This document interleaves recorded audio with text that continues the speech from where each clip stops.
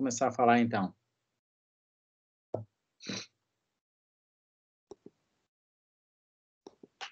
Gravando.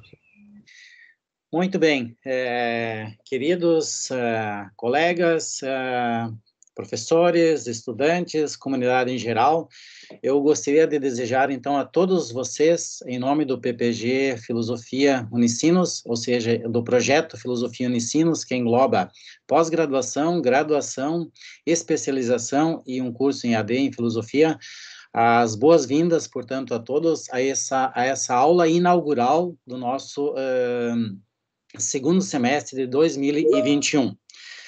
Eu retomo um pouco a, a, trajetória, a nossa proposta do tema da aula inaugural, que está no seguinte contexto. No primeiro semestre, nós tivemos uma, uma palestra com o professor Ernesto Perini dos Santos, da UFMG, e o tema é, abordado pelo professor Ernesto foi, então, desinformação, negacionismo e a pandemia.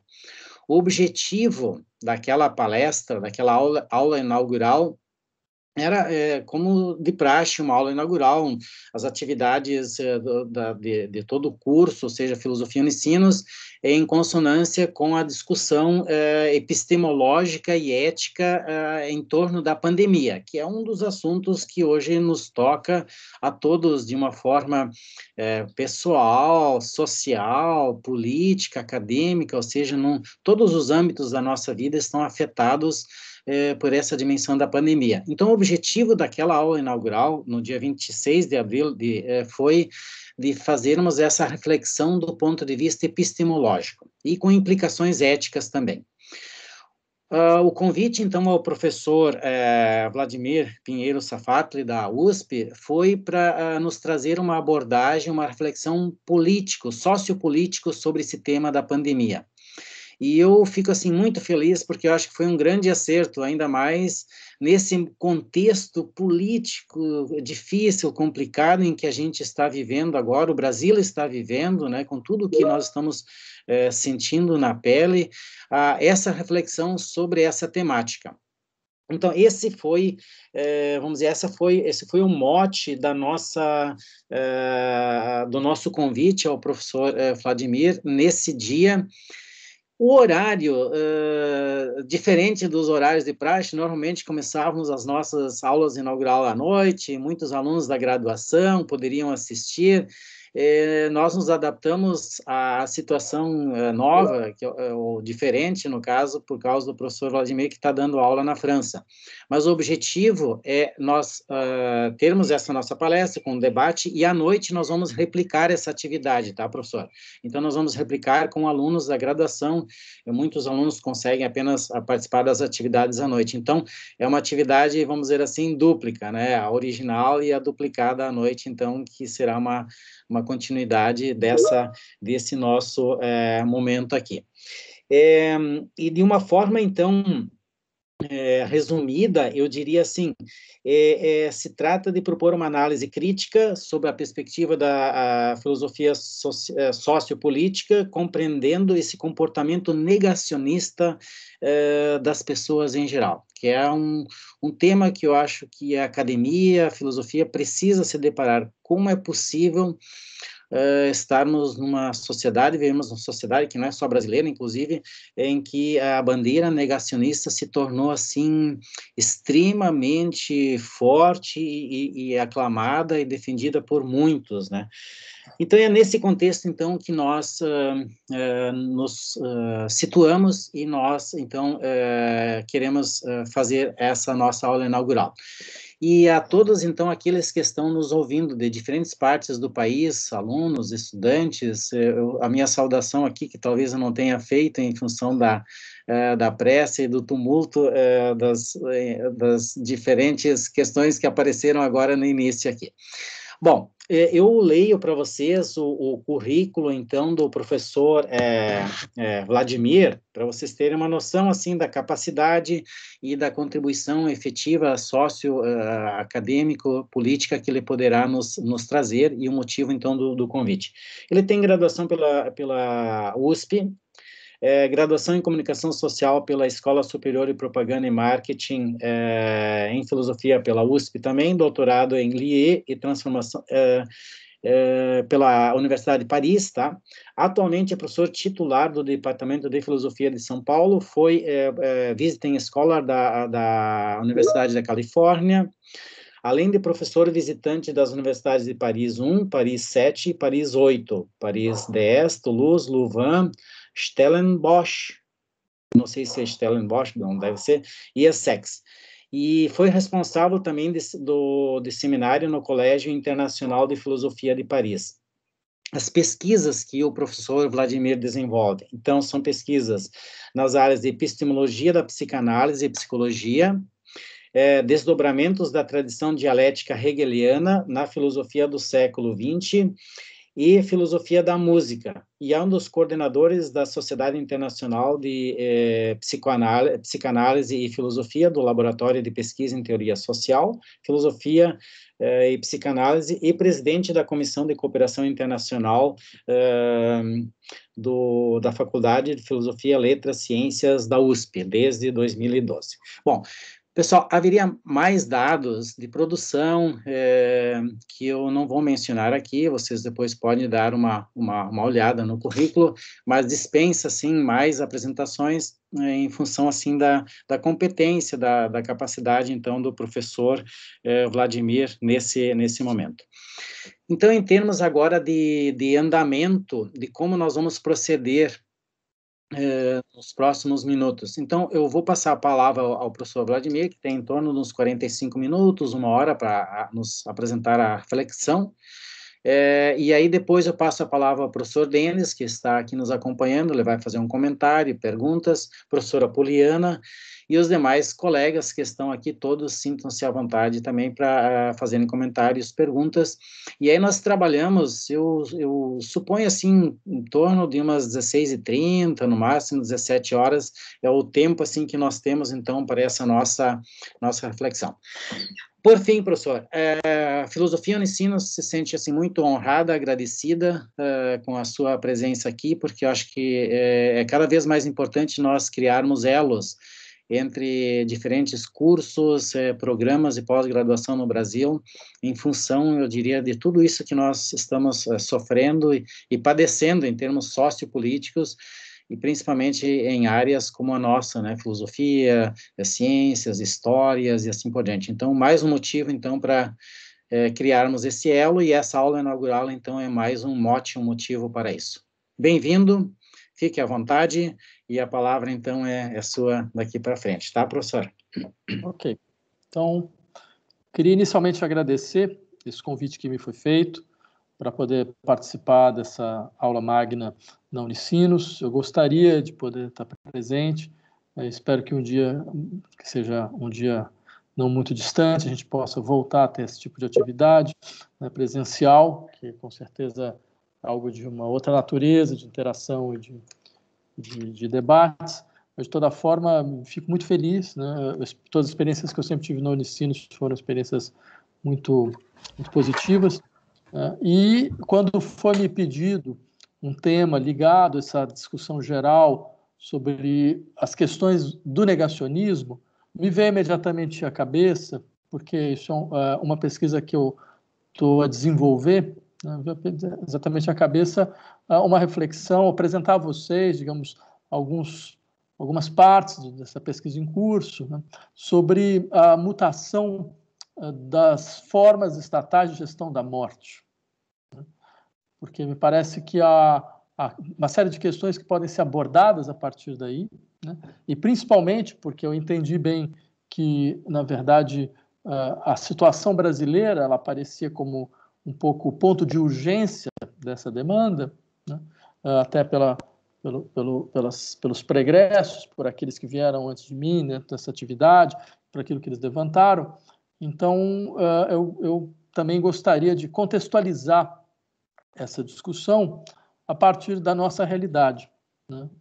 Uh, e acho que esse é um ponto privilegiado de reflexão, porque se há alguma coisa que a pandemia nos mostrou, ao menos em países como o Brasil, certo? é como a questão, digamos, da gestão da morte, do governo uh, dos mortos, aparece como um elemento decisivo para compreender a lógica interna de alguns programas, de alguns processos políticos, a respeito dos quais, digamos, nós somos objetos desses processos.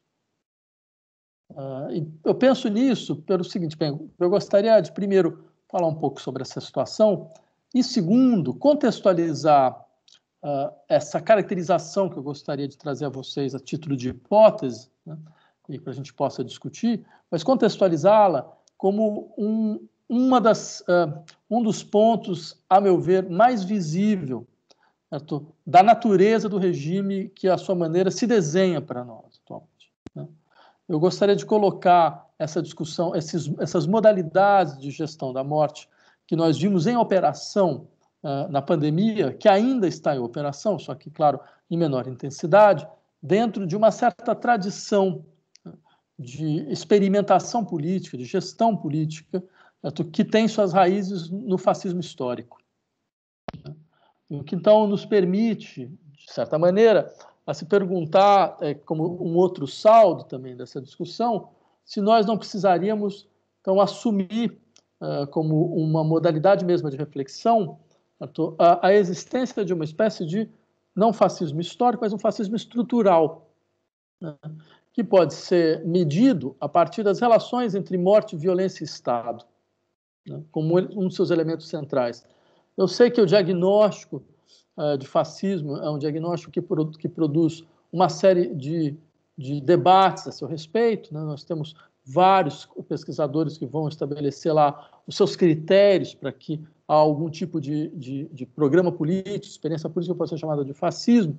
Não se trata, no meu caso, de tentar entrar nesse, dentro desse debate, porque esse é um debate extenso, esse é um debate que, que, que leva em conta uma série de variáveis, mas eu queria insistir em um ponto. Quer dizer, a minha discussão ela está reduzida a um ponto.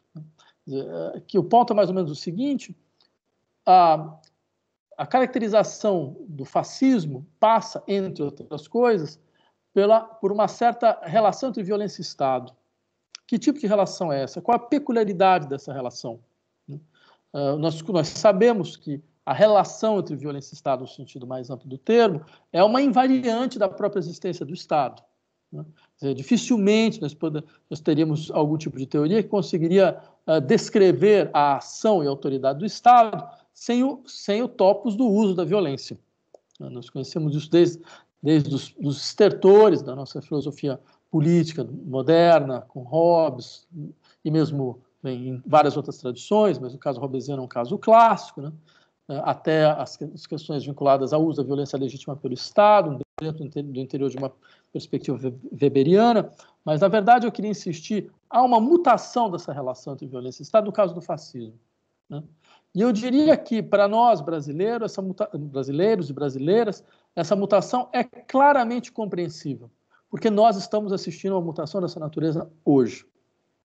Eu insistiria, há uma mutação mesmo dentro desse processo pandêmico. Né? Uh, e é, há de se entender a singularidade desse processo, certo? e não procurar mobilizar, digamos, uh, uh, explicações demasiado estruturais que acabam eliminando a singularidade dos acontecimentos. Né? Dito isso, eu gostaria de lembrar, de lembrar que é bem possível que nós estejamos vendo no Brasil uma espécie de, de laboratório mundial. Eu queria partir desse princípio, né? que o Brasil é um laboratório mundial daquilo que a gente poderia chamar das novas, das novas versões de um neoliberalismo autoritário. Né? É claro que o neoliberalismo ele tem uma, uma gênese no interior de regimes autoritários. Né? Eu lembraria que antes dele aparecer como modelo de gestão social no mundo anglo-saxão no final dos anos 70, né, uh, com Margaret Thatcher e Ronald Reagan, né, uh, o neoliberalismo aparece como o experimento social fundamental no Chile. No Chile, de Augusto Pinochet, a partir de 1973. Né. A partir de 1973, o Chile vira um grande experimento, um experimento de uma ordem tal que nós vamos encontrar alguns dos nomes fundamentais da economia neoliberal, como, por exemplo, Frederick Hayek, uh, Milton Friedman, uh, e, eh, não só formando uma geração de economistas chilenos que vão implementar todos os seus programas pela primeira vez, mas mesmo dando suporte aberto. Né? Eu lembraria, por exemplo, uh, Hayek ele vai ao Chile em 1981. 81 é um momento, assim, um ápice da ditadura Pinochet, né? e ele vai, entre outras coisas, uh, nós temos vários documentos a respeito dessa viagem, alguns deles são entrevistas, entrevistas que são dadas, inclusive, para jornais chilenos, como, por exemplo, é o Mercúrio, onde o Hayek vai dizer mais ou menos Veja, uh, uh, alguma coisa da seguinte, da seguinte natureza: eu sou contra ditaduras, é verdade, mas em certas situações, uma ditadura pode ser necessária. Né? Ela pode ser necessária para que a, a, liberdade possa se realizar. Né? Nós conhecemos as figuras da, digamos, daquilo que a gente poderia chamar da ditadura provisória. Né? Ela está em várias tradições. Uh, eu diria que há mesmo uma discussão bastante singular entre Hayek e Carl Schmitt a esse respeito, né? mas é extremamente significativo certo? a ideia de que, bem, uh, eu vou até trazer para vocês, eu gostaria de trazer, as, porque essa citação eu tenho, né? se vocês me permitirem só um, um momento, para que eu possa uh, encontrá-la imediatamente, porque acho que é uma, uma citação bastante impressionante, né? Uh, ainda mais levando em conta o que era, de fato, o contexto da época. Né?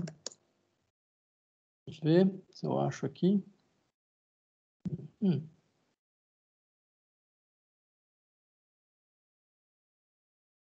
Ah, devia ter colocado isso no, aqui, só um momento.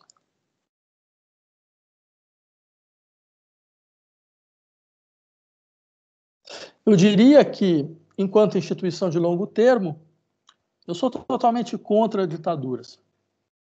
Mas uma ditadura pode ser um sistema necessário durante um período de transição. Às vezes é necessário para um país ter, durante certo tempo, uma forma de poder ditatorial. Como vocês sabem, é possível para um ditador governar de maneira liberal. E é possível que uma democracia governe com uma falta total de liberdade.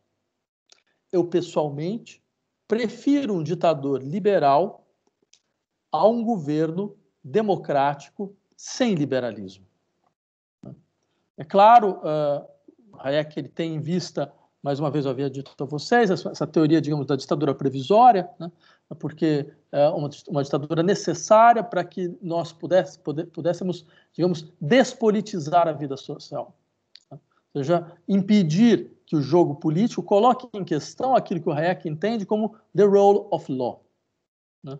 E que nada mais é do que a garantia da liberdade econômica, a garantia das estruturas de concorrência e a garantia de que todas as esferas da vida social elas vão realizar uma, uma ideia de liberdade que, que, que, de fato, ela se consolida da maneira mais efetiva, certo? como a liberdade de empreender.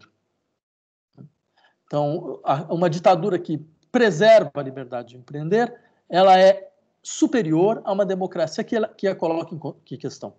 Né? Bem, essa matriz, nós percebemos muito clara, muito, de maneira muito evidente, como um discurso feito nome, em nome da liberdade, certo? não vê a presença de uma estrutura política ditatorial como um problema.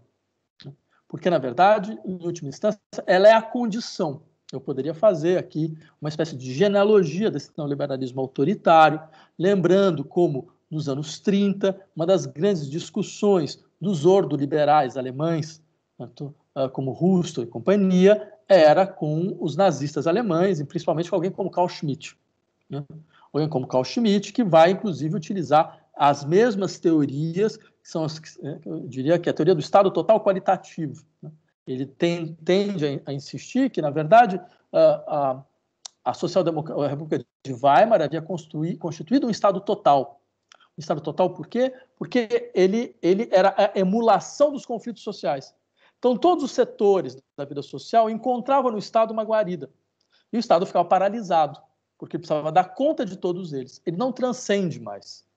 Então, cabia ao, ao, ao Estado transcender esses conflitos. Transcender esses conflitos significa, entre outras coisas, é, julgá-los a partir de uma, de uma outra perspectiva, que não perspectiva imanente dos sofrimentos sociais, são colocados é, é, em, diante de nós devido exatamente à natureza dos conflitos. Né? Na verdade, essa transcendência era dada pela, pela, pela, digamos, pela defesa irrestrita da liberdade econômica e da liberdade de empreender. Né? E não à toa, Carl Schmitt vai fazer esse tipo de defesa certo? em um discurso aos empresários alemães em 1932. É. Um discurso que, diga-se passagem, o Hayek é, ele aplaude nos seus textos. Então, tudo isso para dizer, entre outras coisas, há, uma matriz muito clara né, desse, desse, desse, modelo autoritário do neoliberalismo? E ela, ela se, se, desenvolve não por acaso na América Latina, e eu diria essa matriz é retomada no Brasil. Né? E por que, que ela é retomada no Brasil? Porque o Brasil é o maior experimento necropolítico da história moderna. Eu lembraria a vocês né, que, bem, eh, eu lembraria, por exemplo, diagnósticos como o do Celso Furtado, né, onde o Celso Furtado insistia que o Brasil, antes de ser um país, uma sociedade, ele foi um experimento econômico. Né? Fala... Oi. Só uma dúvida, o senhor tem algum material para exibir ou vai ser só palestra? Uh, não, não tenho nenhum material. Eu ah, não, uma revolução. na dúvida se teria um material que não, tem, não tinha ido para o ar, mas tudo bem. Não, não, não. É eu estou uma revolução industrial atrasado. Então, é, PowerPoint, essas coisas eu, eu nunca usei. Se, se usar, ainda deve ser uma catástrofe. Então, quanto a isso, meu, meu procedimento é tradicional. Né? Ok, voltando então ao que eu estava dizendo. Né? Uh, uh, lembrando dessa colocação do Celso Furtado, o Celso Furtado faz essa, essa declaração, bem, história da formação econômica brasileira parte daí, né, parte dizendo, né, o Brasil, antes de ser uma sociedade, foi um experimento econômico. O Brasil foi onde se desenvolveu de maneira em larga escala, de maneira mais estruturada, certo? Uh, o latifúndio escravagista primário exportador pela primeira vez. Né? Esse latifúndio escravagista primário exportador, ele vai fornecer a célula elementar da formação da sociedade brasileira. Essa é a ideia fundamental do Celso Furtado. Né? Ou seja, enquanto célula elementar, ele nunca será superado. Ele pode ser superado do ponto de vista econômico, ele fica obsoleto economicamente. Né? Mas socialmente, ele organizou a sociedade, ele permanece socialmente. Né? E qual uma das características fundamentais desse, dessa estrutura, dessa célula elementar da sociedade brasileira, né, é ela mobiliza uma, um dispositivo necropolítico decisivo. Né? A gente sabe que esse termo ele foi cunhado pelo Achille Mbembe né, para insistir que uh, o diagnóstico, digamos, uh, Foucaultiano a respeito dos dispositivos de poder enquanto administração dos corpos não levava em conta a experiência colonial, a peculiaridade da experiência colonial. Peculiaridade da experiência colonial era que o poder ele não se exerce uh, principalmente sob a forma da disciplina sobre a vida, uh, uh, ou, ou, seja, essa administração do corpo, dos seus desejos, dos seus afetos, né, que a gente conhece muito bem nos trabalhos, do, tal como os trabalhos do Foucault se desenvolvem, mas ele se desenvolve a partir da gestão do desaparecimento, do extermínio e da aniquilação, como, como um dispositivo fundamental do poder do Estado. Né? Ou seja, é um, é um desaparecimento e aniquilação como procedimento normal. Né? E esse procedimento ele tem que ser ele é um procedimento normalizado, principalmente em situações coloniais, porque as situações coloniais elas são marcadas por uma por um, aquilo que a gente poderia chamar de uma distinção ontológica entre duas categorias de sujeitos. Né? Essa distinção ontológica é uma distinção que divide, por um lado, aqueles sujeitos que vão aceder à condição de pessoa então, eles, eles vão ser sujeitos de direitos, eles vão ser sujeitos que vão, vão, vão, vão, ter, vão ser cidadãos ou cidadãs de um Estado protetor, né? eles vão ser sujeitos cujas mortes vão ser objetos de luto, vão ser objetos de dolo, de dolo público. Né? Só que você vai ter uma grande parcela dos sujeitos que vai cair na condição de coisa a condição de coisa e mais, e, e no caso de, da estrutura do, do, do, comércio escravista, a, a condição de mercadoria. Né?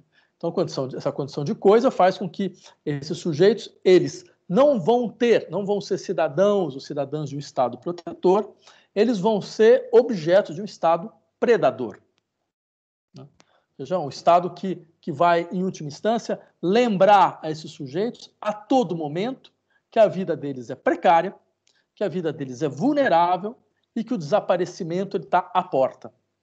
Né? Ou seja, essa morte sem dolo, essa morte sem traço, essa morte sem luto, ela está aqui, ao, ao lado. A função do Estado para esse setor da população é pura e simplesmente lembrar desta condição, porque essa condição faz com que é, esse setor da população seja um setor pronto para a expoliação econômica. Porque, como eles estão a todo momento é, submetidos a esse regime de medo e de extermínio, né, então, é claro, não há nenhuma possibilidade de organização, de organização coletiva, de desenvolvimento de estrutura de solidariedade, tendo em vista, digamos, a, a luta por, por Uh, por, por, por, por, limitação dos processos de espoliação, de pauperização, por lutas por direitos. Então, tudo isso fica abstrato, fica radicalmente abstrato quando você tem um Estado cuja função fundamental é mobilizar o medo como afeto central. Né? E que é um pouco. Então, a, a, ideia da necropolítica ela tem, entre outras, essa função, fala, não, o Estado tem uma dupla face dentro dessas situações coloniais. Ele protege um setor, é o setor vinculado, em última instância, às benesses do colonialismo, certo? e ele destrói um outro setor, né? que é o setor majoritário, né? que é o setor então, que vai ser objeto de um processo de, de acumulação primitiva, no seu sentido mais brutal do termo. Né? Bem, se, uh, eu, eu, havia dito a vocês, o Brasil é, um, é o laboratório mundial desse tipo de procedimento, até porque a escala do que aconteceu no Brasil ela é, ela, ela é sem comparação com outros países da própria América. Né? Pode, a gente poderia lembrar que uh, de todas as pessoas que foram escravizadas na África, que foram enviadas à América, 30% veio pro, só, só, só para o Brasil veio 30%. Então não há nenhum país que tenha um número parecido, nem nos Estados Unidos, nem país algum. Né? E nós sabemos, então, como esse modelo primário exportador né, escravagista ele permanece até, até o seu limiar, até o limiar do século XX, né? e essa, essa estrutura de divisão brutal, digamos, do destino das mortes dos sujeitos, ela continua até, até ontem. Até ontem, porque uma, uma coisa mudou. Né? Uh, embora mudou com uma certa intensidade, mas há, há um elemento novo. É isso que eu queria, aí que eu queria chegar. Né? Então, todos, todos nós sabemos, quer dizer, uh, não é nenhum tipo de abstração, a gente conhece muito bem o que acontece, por exemplo, quando quando nós abrimos, gente, ninguém mais abre jornal, porque não tem mais jornal em papel, mas quando vocês, a gente acede redes sociais e vai, vai à procura de notícias e encontra notícias como, por exemplo, uh, nove pessoas mortas no, na última batida policial em Paraisópolis. Nove pessoas, já é um número, não tem história, não tem dolo, não tem luto, não tem nada. Né? Então, é, é, é, é quase como uma, uma contabilidade empresarial. Né? Uma coisa do tipo, não, é, teve, uma enchente, a enchente levou uma parte, uma, uma parte do nosso estoque, a gente teve perda de tais, tais, tais, tal, tal quantidade. Né? Então, é claro, é, eu insistiria, isso é simplesmente um sintoma de uma espécie de, de estrutura socio, uh, socioeconômica que, que, que tem nessa diferença da gestão da morte um elemento central. Então, eu insistiria, o Brasil ele, apare, ele vai aparecer, então, como um, um lugar privilegiado para a retomada do processo de acumulação primitiva ligado a esse neoliberalismo autoritário, né? entre outras coisas porque ele tem essa, essa característica estrutural, por um lado, e, por outro lado, ele também tem uma outra característica, que também vai ser decisiva, é que uh, o Brasil vai ser o único país na América Latina que não vai desenvolver dinâmicas de justiça de transição. No que diz respeito à sua experiência de ditadura militar mais recente, essa que nós conhecemos, que começa em 1964 e termina em 1984. E por que isso é um elemento importante? Porque exatamente por não ter desenvolvido esse tipo de justiça de transição, ou seja, por ser o único país da América Latina onde nenhum torturador foi preso, onde nenhum torturador foi julgado, preso e condenado, onde você, onde, onde os casos de tortura, isso, isso é um, um, um, dado clássico que a gente sabe em alguns estudos da uma socióloga norte-americana chamada Catherine Sickens, casos de tortura, o Brasil é o único país na América Latina onde os casos de tortura aumentaram, o número dos casos aumentaram em relação aos casos da ditadura militar, porque você não teve nenhuma depuração de torturadores, então eles simplesmente aplicaram aquilo que eles aplicavam a presos políticos para presos comuns, em geral, Né? Então, como você tem essa estrutura, uma estrutura também que foi especializada em desaparecimento de corpos. Né? Uh, eu lembraria, nós estamos lançando agora um belíssimo livro a esse respeito, uma coleção que eu dirijo, desculpa fazer uma merchandising aqui, é uma coleção que eu dirijo na editora Ubu, é, que chama Explosante, o livro chama Governar os Mortos, que é exatamente sobre esse tipo de questão, o Fábio Franco é o, o autor, né? eu recomendo. Né? Mas, como eu havia dito, é um país onde não, não só nós temos essa característica, mas todos, todo o processo, toda estrutura institucional e prática do Estado, que diz respeito ao desaparecimento dos corpos, que diz respeito à ausência de luto, de dolo, como elemento estrutural, ela vem, entre outras coisas, da importação de técnicas de guerra dita contra-insurrecional que foram desenvolvidas em outras situações coloniais, na África do Norte, especialmente na África do Norte e no Sudeste Asiático. Né? Então, ou seja, por exemplo, os militares franceses que desenvolveram técnicas de tortura e desaparecimento na Guerra da Argélia, eles vão, nós vamos encontrar todos eles? Uh, no Brasil, dando cursos para brasileiros né? que vão ser utilizados, então, que são cursos de técnicas utilizados contra o nosso povo. Isso fica, não só fica, como mais do que isso, uh, são exatamente essas figuras que elas permanecem intocável intocáveis uh, no seu poder. Então, isso permite às Forças Armadas brasileiras chegar a uma situação como a atual, uma situação sem nenhuma depuração, sem ter feito em nenhum momento histórico um meia-culpa a respeito das suas das práticas ditatoriais que ela desenvolveu durante 20 anos no Brasil, certo? e agora e nesse sentido uh, e colocando não só uh, a população brasileira agora contra a parede devido a, a ameaças contínuas de golpe, mas eu insistiria é, retomando algo disso dentro da gestão cotidiana da morte no Brasil. Né? Não é à toa que essa gestão foi feita por militares, foi a mesma, é, é, é a aplicação em larga escala daquilo que tinha sido desenvolvido inicialmente certo? contra opositores do regime. E, é claro, e, aí vem uma questão que me parece fundamental, em por que, que um regime, que, que, que, um, que um modelo neoliberal autoritário né, uh, ele precisa mobilizar esse tipo de, de, de dispositivo. Né? Uh, e eu lembraria uh, mais uma vez, né, porque esse, esse, esse modelo ele vai encontrar no Brasil, um, como havia dito, um lugar privilegiado. Ele precisa desenvolver, esse dispositivo, porque o neoliberalismo ele não é simplesmente uma teoria de produção econômica de riqueza. Neoliberalismo é uma doutrina moral. E essa foi uma das grandes forças dos seus inventores. É compreender que não seria possível, hipótese alguma, certo? Criar uma hegemonia econômica sem uma espécie de adesão moral. Um discurso de forte adesão moral, mesmo em relação àqueles que, em última instância, o discurso econômico oprimiria. Mas é claro, por exemplo, uma das, ideias mais astutas do Hayek era dizer, bem, a, a, a falência econômica, o fracasso econômico, ele não é fruto de nenhuma vontade. Ele é fruto das regras impessoais do mercado.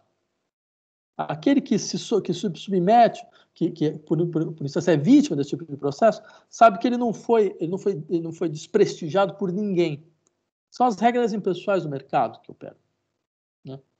Ou seja, é, que opera, entre outras coisas, pelo fato dos sujeitos não terem conseguido, né, por, por limitações, por limitações que lhes são, que são próprias, né, não, não terem conseguido serem capazes de alcançar um grau de eficácia, de eficiência da atividade econômica, certo? Das quais, da qual eles eram os únicos responsáveis. Quer dizer, uh, eles eram os únicos responsáveis no sentido mais forte do termo. Né?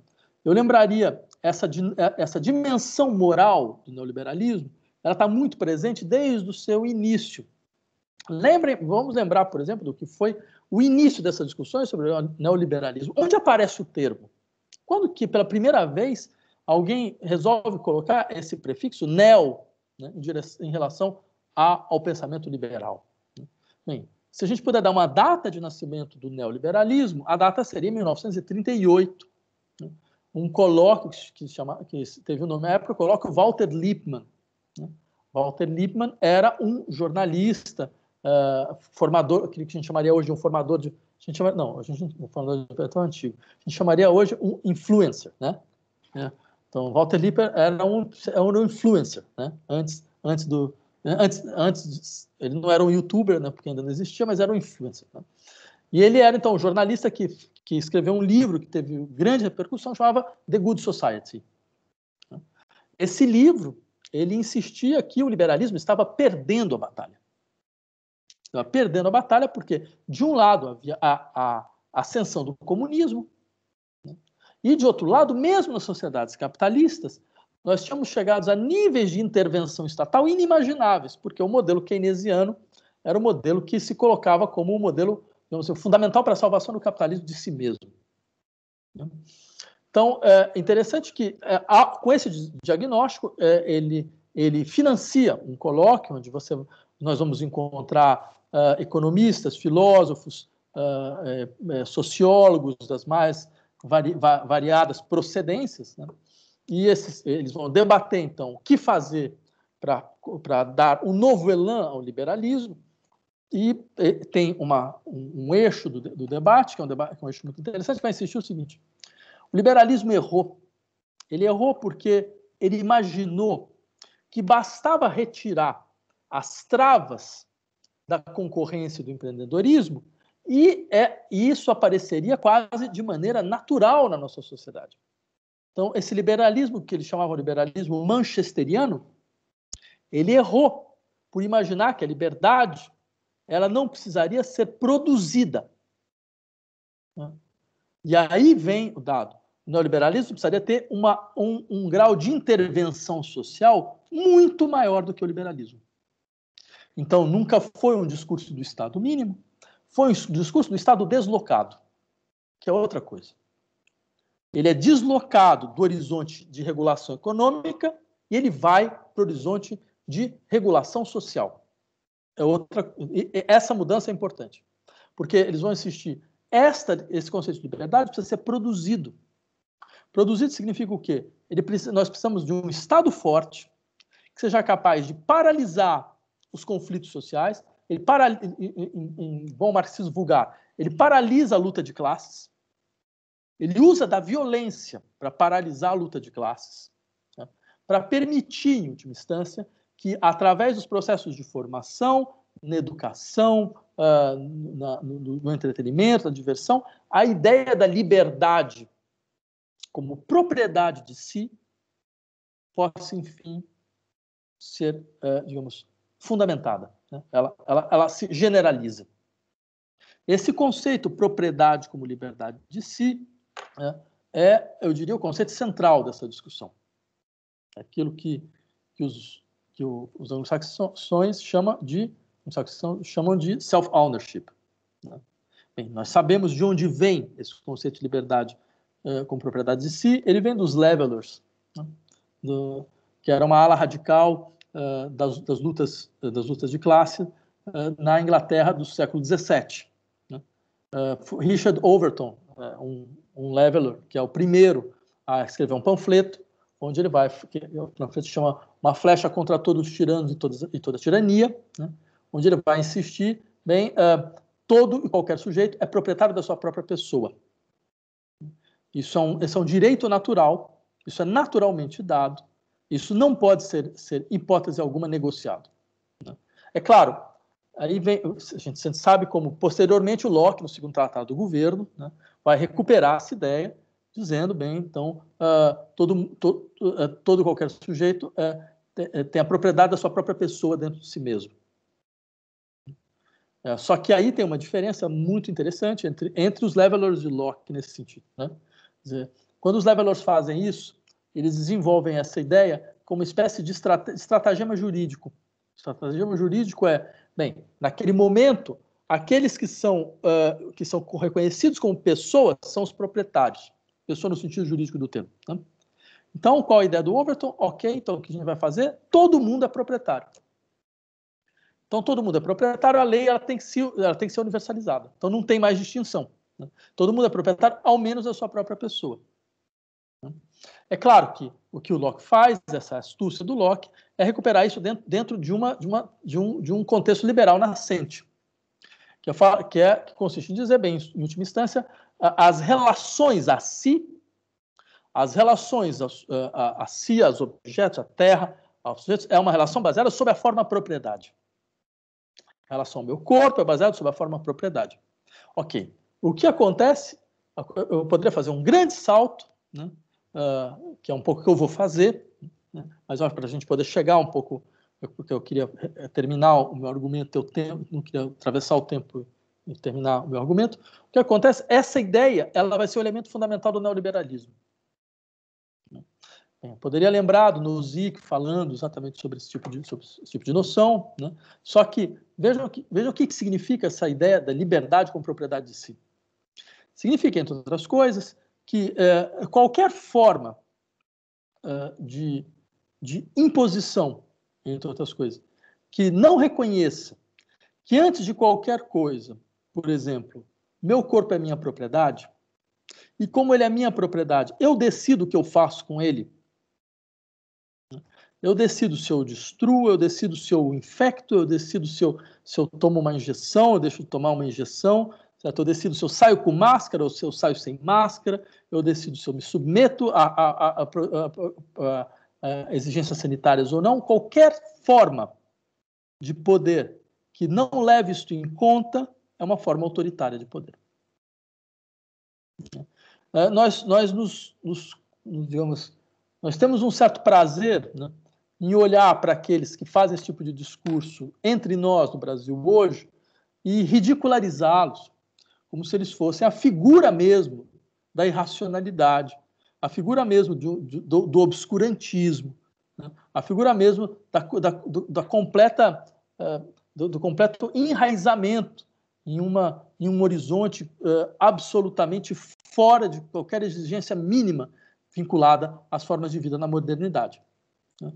É um pouco a gente, a gente precisa dessa dessa figura da supremacia intelectual, que também se transveste uma supremacia moral, como elemento, digamos, fundamental para a nossa própria autodefinição dentro desse embate. Né? Mas eu insistiria em duas coisas. Né? Não que eu seja a favor disso, mas eu acho que é, eu, eu, eu, eu partiria do princípio psicanalítico para para a gente conseguir sair de um problema, é necessário você entender claramente que, onde você está qual é de fato o problema e qual é a sua real extensão. Não adianta nada a gente, de uma certa forma, tentar apagar a extensão efetiva do problema em questão. Né? Eu lembraria esse tipo de comportamento, que para nós é aterrador, né? esse tipo de comportamento não foi um comportamento que apareceu só no Brasil. Nós vimos esse comportamento na Alemanha, nós vimos esse comportamento aqui na França, nós vimos esse comportamento nos Estados Unidos, nós vimos, nós vimos pessoas saindo dos Estados Unidos com cartazes com uma máscara e um sinal de proibido, né? E embaixo escrito meu corpo, minhas regras. Né?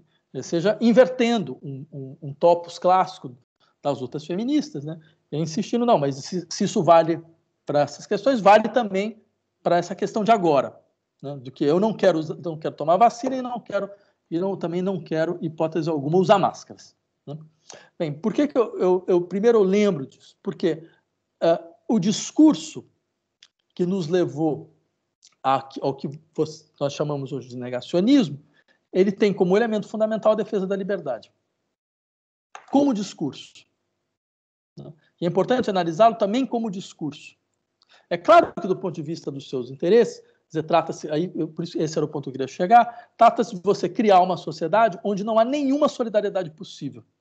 Esse é um elemento fundamental para que, que essa, essa moralidade neoliberal ela se realize. Porque essa, essa, essa reconstrução social a partir do neoliberalismo se realize. Né? É importante que nós sabemos o que significa solidariedade. Solidariedade significa, bem, Platão, quando vai escrever lá no capítulo, no livro 5 da República, ele utiliza a metáfora do corpo social, né, num, trecho clássico, né, onde ele vai insistir, então, em última instância, bem, o corpo, o, a sociedade é como um corpo. Né? É, é, sempre bom lembrar como é que ele vai fazer, como é que ele, como é que ele, como é que ele descreve essa ideia. Né? Eu queria trazer para vocês aqui a citação, né? que me parece uma citação bastante importante. Está lá no, no, livro, como eu disse a vocês, no livro 5. E Platão diz o seguinte: qualquer cidade em que a maioria dos seus membros se exprime do mesmo modo, em relação às mesmas coisas, e digam isto é meu ou isto não é meu, terá de ser a mais bem organizada. A resposta, né? Você sabe, a maiêutica socrática não é uma maiêutica nenhuma, mas sempre tem sempre alguém que vai responder, não, é verdade, Sócrates, Bem, sem dúvida é a resposta. Né? Então, Sócrates continua, como será também a que mais se aproxima da condição do indivíduo. Quando, por exemplo, um de nós recebe uma pancada no dedo, toda a comunidade do corpo e da alma, submetida ao comando unificador da parte da alma que a dirige, sente o traumatismo e se associa à dor do local ofendido. Motivo de dizermos que o homem sente dor no dedo.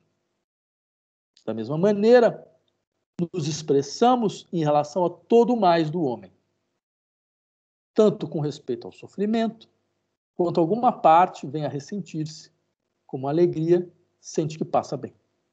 Então, é assim mesmo disse, e a respeito do que perguntaste, a todas as luzes, a cidade mais bem constituída será a que mais se aproximar de uma comunidade deste tipo. Né? Vejam que interessante esse uso do, da noção de corpo social aqui nesse contexto. Né? Nós conhecemos teorias da, da contemporâneas da democracia que vão criticar a ideia do corpo social como ideia autoritária, como ideia orgânica, como esse vínculo, então, de, de, de um organismo, como se a sociedade fosse desculpa, um organismo partes extra partes? E hierarquicamente funcionalizado. Né? Lefort é um caso clássico nesse sentido. Só que vão perceber, percebam como Platão de fato descreve, só para a gente pegar esse exemplo mais originário. Né? Ele diz, ele usa a metáfora simplesmente para dizer, não, a sociedade ela tem o mesmo tipo de coesão que um corpo. E a coesão é, se tem uma parte do corpo que é afetada, o corpo inteiro reage. Se tem uma parte que, se eu, se eu levo uma pancada no dedo, o corpo inteiro sente. Né? O corpo inteiro sente, o corpo inteiro trabalha de algumas formas, né? para que isso não ocorra mais. Diz, não, uma sociedade ideal é uma sociedade assim, ou seja, uma sociedade baseada em um princípio radical de solidariedade. Né? No sentido de que qualquer membro do corpo social que é afetado, a sociedade inteira, ela, ela, ela se mobiliza como uma afecção sua. Uma afecção sua. É claro, essa, essa, essa noção de corpo social ela é radicalmente estranha ao princípio neoliberal de organização da sociedade. Ela é radicalmente estranha a esse princípio de liberdade com propriedade de si. Porque aqui, a liberdade, vocês percebem, ela, ela, ela, é, ela, ela, ela é totalmente fora do horizonte da liberdade individual. Ela é uma liberdade social. E social significa o quê? Significa a garantia de que o corpo social não deixará nenhum dos seus membros ser afetado. A garantia de que o corpo social ele mobiliza-se como totalidade na defesa dos seus membros. E é claro, isso é uma sociedade não hierárquica, é o mínimo que se possa dizer. Né? Tem uma dimensão não hierárquica desse pensamento, por mais que, claro, a gente conheça como a hierarquia re, re, entra, no, no, caso do Platão, em, em outras dimensões. Né? Mas eu queria insistir sobre esse ponto. Né? Porque, vocês percebem, esse tipo de afeto social, a solidariedade, ele, ele não pode circular se eu organizo a vida social a partir de uma ideia de liberdade com propriedade de si. Mas é claro que vocês podem, alguém pode tentar me contrapor, dizendo não, mas veja, veja bem, você está fazendo um jogo de 8 a 80. Né?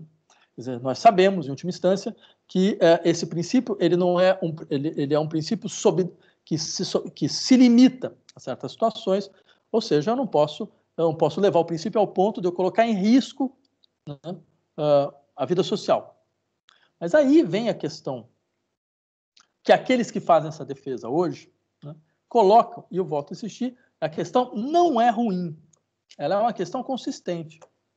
Quem tem autoridade para definir, em última instância, quando que a sociedade está em risco e quando ela não está? Tem que ouvir quem? O Estado? Eu tenho que ouvir a ciência? Uh, mas, bem, a ciência ela é polifônica. Né? É, eu nunca imaginei que eu ia fazer isso na minha vida uh, acadêmica, ou seja, citar o Popper, né? mas de qualquer maneira, bem, a situação chegou nesse ponto que a gente até faz isso. Né? Seja, eu lembraria o Karl Popper dizendo, bem, a característica fundamental da ciência é ser falível, né? sobre certos procedimentos, é claro, sobre certos princípios, mas ela é falível. E não só ela é falível, ela, ela, ela admite dissenso. Né? De fato, a gente pode, pode, pode descobrir, não tem nada que nos impeça que a gente descubra que daqui a dois, três anos, que as vacinas que a gente, toma, que a gente tomou hoje, elas podem ter alguns efeitos colaterais inesperados. Isso está isso, isso tá longe, isso, isso, mas a ciência nunca garantiu nada dessa natureza. E nem é o seu horizonte tentar garantir algo dessa natureza. Então, aí todo, é toda uma questão relativamente interessante. Quer dizer, quer dizer que, que, tipo de sociedade, então, a gente, a gente vai, é, para qual a gente vai? Uma sociedade na qual, então, os cientistas têm a última palavra sobre, sobre, sobre o que deve ser feito no interior do corpo social? E eu lembraria, eu, ok, estou fazendo advogado diabo, mas é um, um, procedimento importante. Eu lembraria, um dos, um dos características fundamentais da democracia é, a democracia é, um, é o poder de qualquer um. Aquele que ocupa o poder, ele não é o mais sábio, ele não é o mais inteligente, ele não é o que tem vem da melhor família, ele não é, ele, ele não é o, o, o melhor cientista, não. Ele é aquele que, de uma ele, ele, ele, dizer, ele, ele é aquele que, de uma certa forma, expressa a generalidade da, da, do corpo social. A gente quebra essa, é, esse, essa presença do poder pelo mérito né, para ser um poder, presença pelo, por um princípio radicalmente democrático. Todos podem ocupá-lo, em última instância. Né? Por que, que eu digo isso? Porque, veja só, eu insistiria, partindo da, uh, da premissa errada, a gente vai acabar na conclusão errada. Ou seja, partindo desse conceito de liberdade, a gente necessariamente acaba em uma situação catastrófica.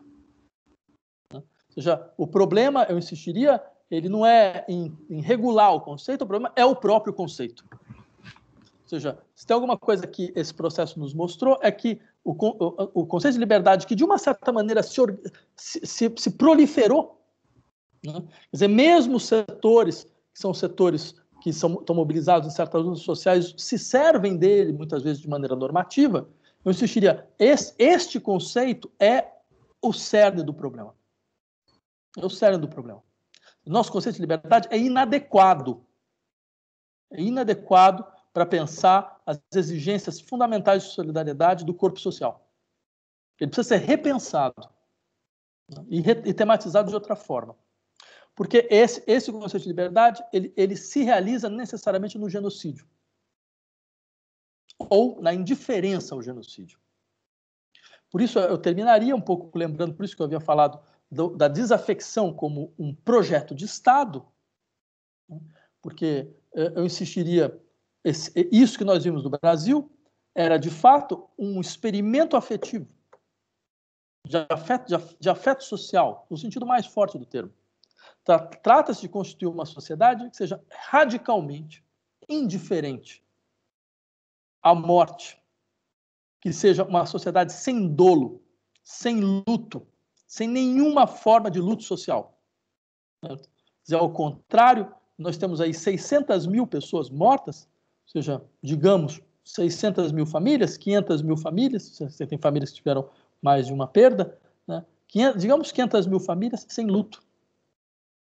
Você pode imaginar o que isso significa, que diz respeito à experiência de trauma social? A gente ainda nem tem ideia do que isso realmente significa. Né? Mas eu insistiria, um dos elementos fundamentais, uma das formas do trauma é, é a generalização do silêncio e a desafecção como, como sistema de defesa. É um clássico da ideia do trauma, é a forma obsessiva do trauma. Né? Você, você, desa, você tem uma representação que você desafeta radicalmente. Ela está lá, mas ela está completamente desafetada. Né? Então, ou seja, isso significa outras coisas. É claro que isso tem uma função social. A função social é, se é verdade que durante muito tempo o Brasil foi o maior experimento necropolítico do mundo, né, da história da história moderna, né, agora a gente, tá, a gente vê como o Brasil ele se desenvolve como uma nova etapa. Ele, ele, ele abre uma nova etapa desse processo. E aí eu terminaria vou, é, retomando as discussões que eu havia, eu, retomando não, mas tentando apresentar as discussões que eu queria desenvolver sobre, sobre o fascismo. Né? Que nova etapa é essa? Eu havia dito que, dentro do horizonte necropolítico, há uma distinção fundamental entre o Estado predador e o Estado protetor. Um setor da população que é protegido, outro, outro setor da população que é predado. Né? Então, o que é interessante dentro desse processo da pandemia, interessante, mas dramático dentro desse processo da pandemia, é que, de uma certa forma, em um certo nível, essa distinção caiu. Aquele, quer dizer, o nível global de risco, de, de, de, de confrontação de risco com a morte aumentou para todos. Não da mesma maneira, é verdade, mas aumentou para todos. Não sem levar em conta é, diferenças de classe, diferença aqui, diferenças de raça, certo? Mas aumentou para todos. É claro que alguns podem, à sua maneira, digamos, tentar diminuir essa intensidade por, para aquilo que a gente poderia chamar de um acesso privilegiado ao mercado. Então, um acesso privilegiado a sistemas privados de saúde. Só que esse acesso privilegiado ao mercado, então ele mostra que a instância necropolítica fundamental agora não é mais o Estado ao mercado. O, Estado, é o mercado que organiza. O acesso ao mercado que organiza. Só, por, só que, por outro lado, essa, essa dinâmica de, digamos, de, de aumento. De, lembra, só, só fazer um pequeno parênteses, lembra, por exemplo, uma das ideias fundamentais do, do princípio robesiano de soberania, né? era bem a função do Estado, é a segurança. A segurança contra que a morte violenta. Morte violenta em relação à guerra e epidemias. O que no caso brasileiro a gente viu, o Estado abriu mão de um dos seus princípios elementares, que era, que era a proteção contra a morte violenta de epidemia. Ele abriu mão. Isso significa, entre outras coisas, o quê? Ele precisa, para isso, uma sociedade que então se acostume, né? ela, se, ela naturalize um aumento exponencial da sua do, da, da, do seu, da sua desproteção, da ausência de proteção. Ela naturaliza o fato de que não, é, não, não existe mais nenhum sentido em esperar proteção de macroestruturas sociais.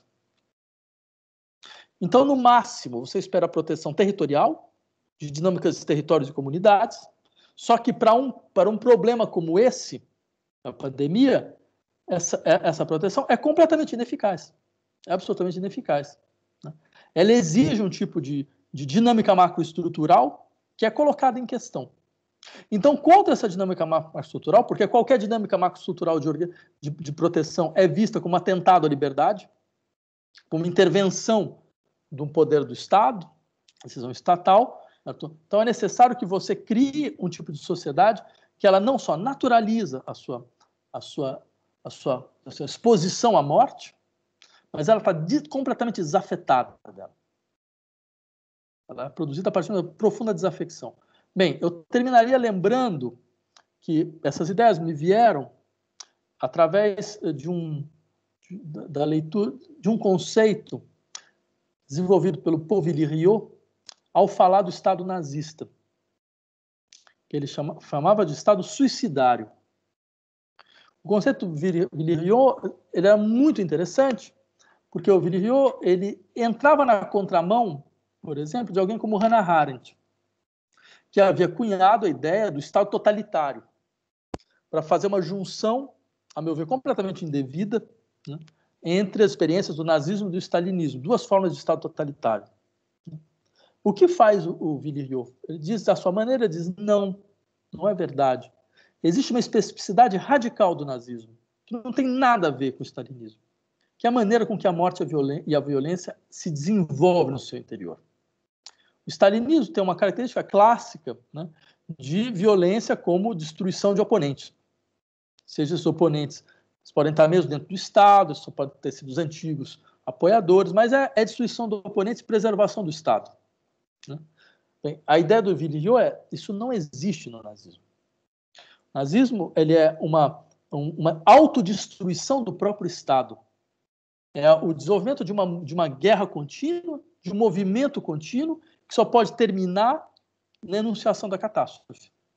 Então, ele parte de um telegrama, que seria, teria sido o último telegrama que o Hitler teria uh, enviado às, suas, às, às Forças Armadas Alemãs, né, que chama o famoso Telegrama 71, que eu procurei o Telegrama. Se alguém achar o Telegrama, eu, eu, agradeço infinitamente. Eu procurei o texto em todos os lugares. O que tem, na verdade, acho que é daí que ele, tra que ele pega, que é, é a, a, biografia do espia. O espia fala desse Telegrama. Né? Ele fala então que o Hitler diz que se a guerra está perdida, então que tudo pereça. Então ele, ele, ele exige que, a, que, as forças armadas destruam todas as estruturas de infraestrutura, toda, toda a infraestrutura que havia restado das cidades alemãs. Né? E de fato algumas eh, algum, algum, algumas falas fazem isso e outras não. Então e ele parte disso para dizer, não, mas esse era essa era a realização nazismo. Era a única realização possível. Era uma espécie de suicídio, uma espécie de, dinâmica suicidária. Né? Eu diria uh, algo dessa natureza nós conhecemos bem hoje. Em outra intensidade, é claro, né? uh, em outra chave, mas algo desta lógica.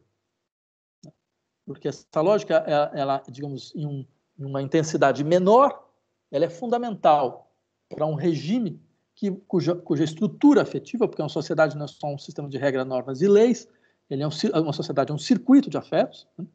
Então, para a estrutura afetiva que é baseada na indiferença como afeto político central.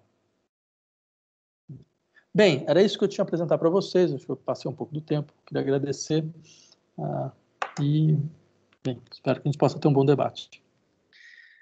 Professor Vladimir, muitíssimo obrigado por essa exposição é, é consistente, é crítica atual, extremamente atual, porque realmente nós precisamos pensar isso. E eu acho que ficou muito clara essa ideia de, de, que dá título a essa aula inaugural, negar a morte, desafecção social como um projeto desse nosso Estado, né? Baseado nessa lógica neoliberal e que não é uma coisa recente no Brasil, né? Você fez o resgate histórico desde, desde a nossa criação como país. É, e, e, essa esse desde, é, desdobramento enquanto um projeto que na verdade é ditatorial. Então eu achei muito interessante e depois a gente pode continuar uh, discutindo, mas eu quero passar a palavra então aqui ao, ao professor Denis e, e, e a Poliana fazer tecerem comentários em relação à sua fala, tá? E aí depois uh, nós abrimos as perguntas ao público. Tem muitos muitos estudantes presentes aqui, tem colegas. Eu, eu consegui ver o professor Álvaro aqui do nosso PPG, o professor Alfredo que estão aí. Possivelmente tem outros.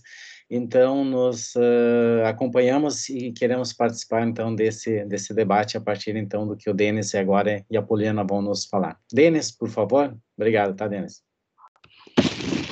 Uma boa tarde a todos e a todas. Muito obrigado, Luiz, pelo convite, estar aqui participando, então, da aula inaugural, podendo escutar o Vladimir, um prazer revê-lo. Vladimir, um prazer contar com a sua presença aqui no nosso pós-graduação, pensando um tema absolutamente é, fundamental, no meu entender, e muito difícil, é claro, porque quando nós temos que refletir filosoficamente é, sobre o tempo presente, né? e as, as, as perspectivas, as muitas variáveis que envolvem um fenômeno complexo como esse, né? é sempre muito difícil, então já elogio você pela coragem de, de, de, de empreender esse esforço de procurar compreender né, uh, o que está acontecendo nesse tipo de governo, né, qual é a lógica, qual é o padrão. Acredito que isso é fundamental. Então, já faço aqui meus, meus elogios. Eu gostei muito da parte final da sua fala quando você conclui que o conceito de liberdade é inadequado.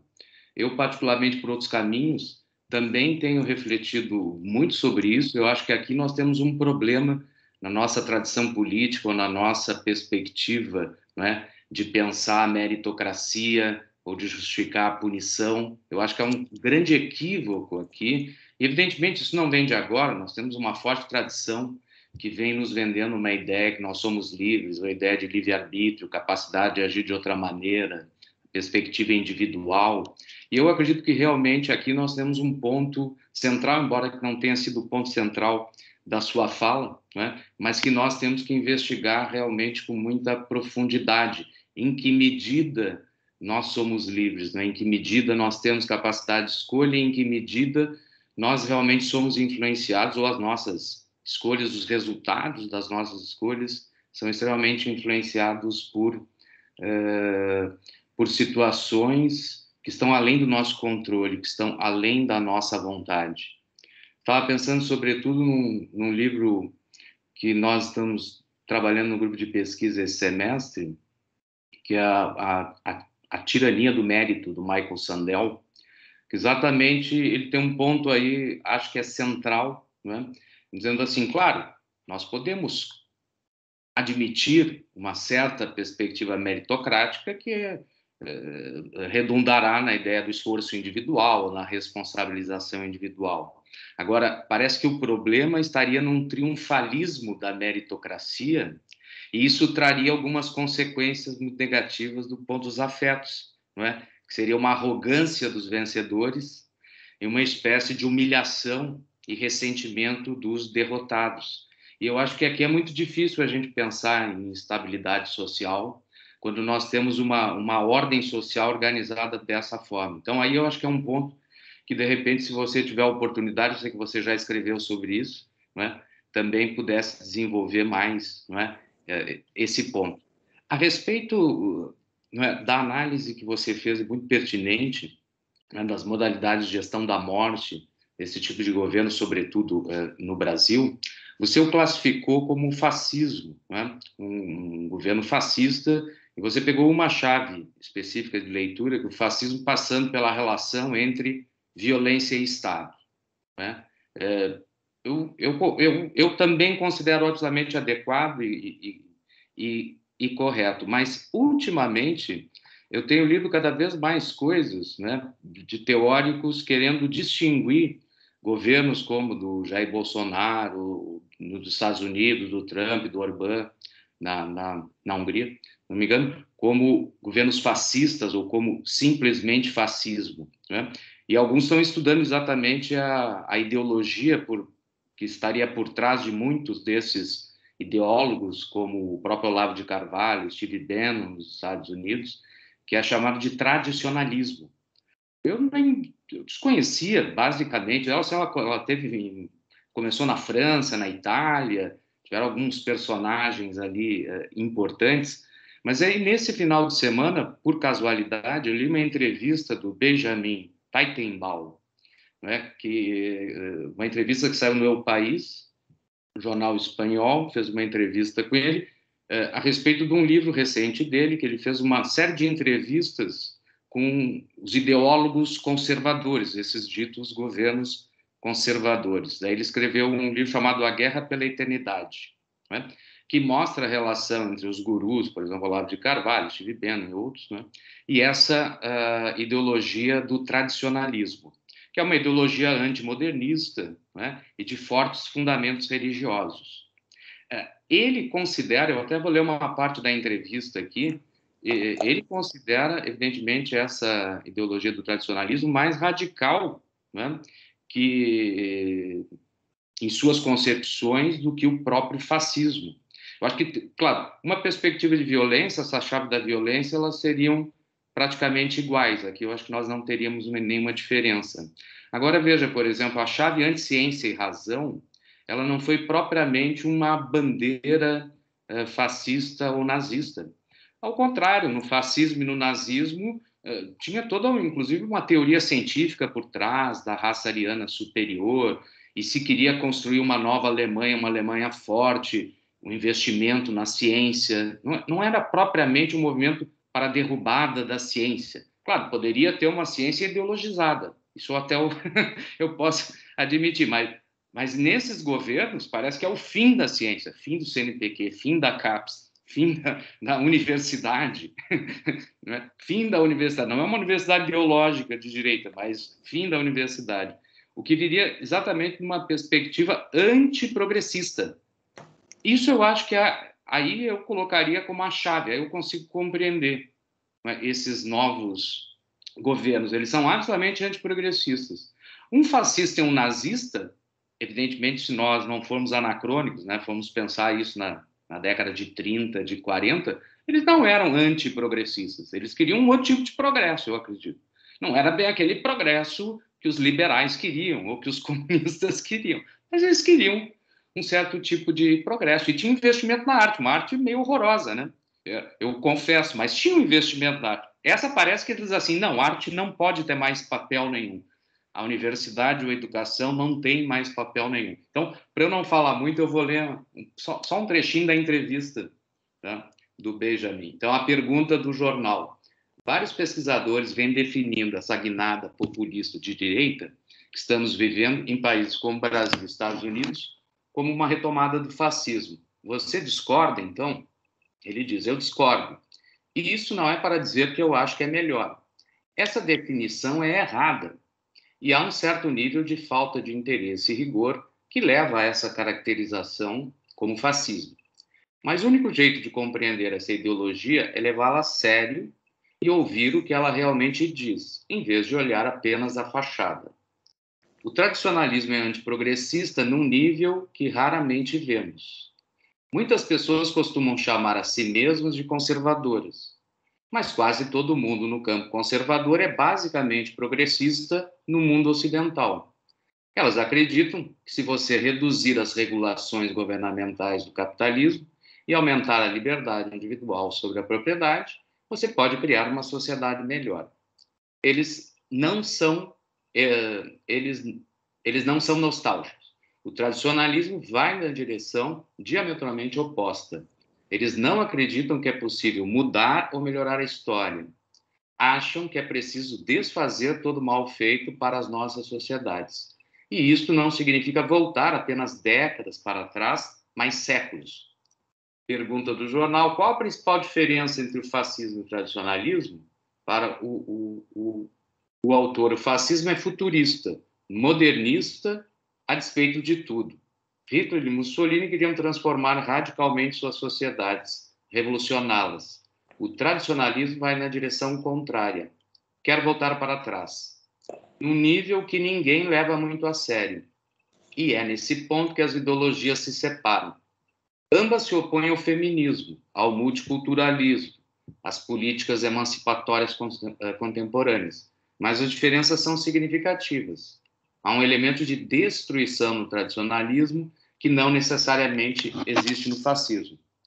Eu trago essa, essa entrevista, enfim, e comento brevemente sobre uh, esse texto do Guerra pela Eternidade, do Benjamin Teitenbaum, uh, porque eu acho que aqui, pelo menos, nós temos um ponto. Né? Eu desconheço ainda esse assunto muito, né? mas eu acredito que aqui ainda nós estamos, parece que tateando no escuro, e claro que toda investigação, todo se debruçar sobre essa nova realidade, sobre esse novo fenômeno é fundamental. Né? E claro que nós temos um vício de pesquisador, de uma certa maneira, que é procurar entender um conceito através da correlação com outros conceitos, ou entender um fenômeno através da correlação com outros fenômenos.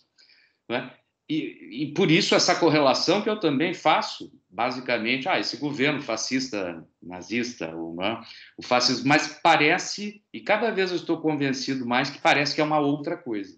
Uhum. E se for nessa dimensão da destruição e destruição da ciência, da razão, da educação, do projeto, e o regresso, de repente o regresso pode ser até a pré-história, pode nem parar na, na idade medieval, quer dizer, nós vamos, né, a, qual é esse projeto? Enfim, né? apenas uns comentários muito, muito genéricos, Vladimir, que eu gostaria, de repente, de você explorar mais essa ideia uh, de a, a, ideia de liberdade como inadequada, o conceito de liberdade como inadequado, como você terminou a sua fala, e, de repente, voltar a essa classificação desse governo, esses modelos, né? essas modalidades de gestão para a morte com o fascismo, se de repente não seria algo até mais grave. Muito tá. obrigado. Não, obrigado. Acho que as questões são bastante interessantes. Eh, eu gostaria de começar dessa segunda. E foi bom você ter lido a entrevista. Eu acho que há intuições interessantes e há pontos dificilmente sustentáveis, eu acho, né? nessa posição. Né? Eu reconheço que não se trata, em hipótese alguma, e nem seria o caso, de tentar fazer algum tipo de analogia é, em todos os pontos, entre o fascismo histórico dos anos 30 e a situação atual, né? mas acho que nem, nem é necessário isso. Né? Uh, eu acho que dentro do interior da nossa, das nossas formas de reflexão, nós somos muito bem capazes, por exemplo, uh, eu posso falar de República Brasileira né, e posso falar de República Romana, né? são, dois, são, são, são duas coisas que tem sua, sua contextualização radicalmente distinta, vários, várias características muito diferentes, no entanto, há algum elemento em comum que me permite fazer essa passagem. Eu acho que tem alguma coisa disso. Eu sustentaria, sim, uh, uh, o termo fascismo como um termo analítico para aquilo que nós vemos hoje no Brasil e também nesses países. É claro que uh, ele, esse, esse, esse, é um projeto que é um projeto que vai paulatinamente ganhando corpo. Né? A gente vê uma espécie de, como, diz, como diria, é quase um, uma, um projeto em câmara lenta, né? porque você tem uma, você tem uma, uma estratégia que é uma estratégia de autoritarismo furtivo, que você paulatinamente vai retirando da sociedade alguns elementos que, que ela conseguiria se defender contra essa dinâmica, né? uh, até o ponto em que uma mudança qualitativa é possível. Uma mudança radical, qualitativa radical é possível. Então a gente vive sob esse horizonte. Se ela vai se realizar, se ela não vai se realizar, é uma outra questão. É uma questão que, que a, assim, a reflexão teórica nunca conseguiria uh, dizer alguma coisa concreta a esse respeito, porque depende da contingência dos processos históricos. Mas que existe esse horizonte, existe. Por outro lado, eu acho que caracterizar. Bem, então eu trabalho, trabalharia com a ideia de um fascismo estrutural das nossas sociedades e não com. O conceito não é do fascismo histórico. Né? Então, acho que permite que a, gente, que a gente perceba que é possível que elementos fundamentais do fascismo apareçam dentro de um contexto que outros elementos não vão aparecer. Uh, por outro lado, eu acho interessante essa reflexão sobre o tradicionalismo, né? Acho que traz alguns elementos importantes, mas me parece que talvez a, a descrição do fascismo como, como radicalmente, digamos, modernista, né, uh, pró-ciência, ela é verdadeira até um ponto. Ela é verdadeira até um ponto. Ela não é totalmente verdadeira, me parece. Né? Porque uh, é sempre bom lembrar, quer dizer, o, o, os fascistas e os nazistas, eles percebiam que eles eram os verdadeiros legatários da, verdade, da verdadeira tradição ocidental. Então, por exemplo, o Chapotot, o historiador do nazismo, levantou uma série de documentos muito interessantes, onde ele lembra, ela está vendo, quando os nazistas precisavam justificar ah, ah, o racismo, eles iam até o Platão. Quando eles precisavam justificar a, a, o eugenismo, eles iam até o Sêneca. Né? Para dizer, não, isso é parte da. Essa é a nossa verdadeira, verdadeira tradição. Né?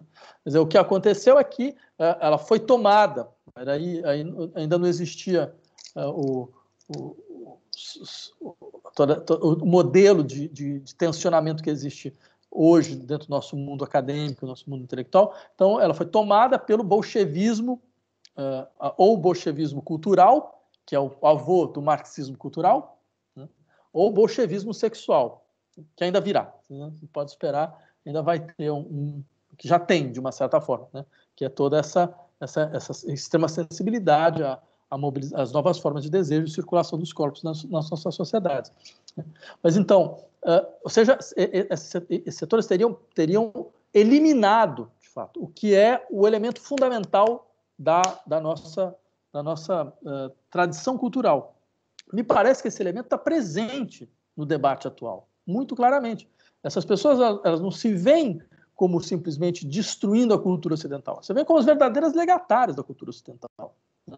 que foi que, que, que foi apagada pelo quê? Pelo fato de que existe uma guerra de interesses. Essa é a leitura que aparece praticamente eles, eles fazem. A guerra de interesses, ela vem do fato de que a, a universidade, os universitários defendem uma forma de vida e querem impor essa forma de vida para todo mundo. Né? Essa é a leitura que eles fazem. Então, ou seja, a, a, a crítica não é contra a ciência, não é contra, uh, não, é, não é contra a razão, é contra a universidade. É contra a universidade como, como meio de reprodução social.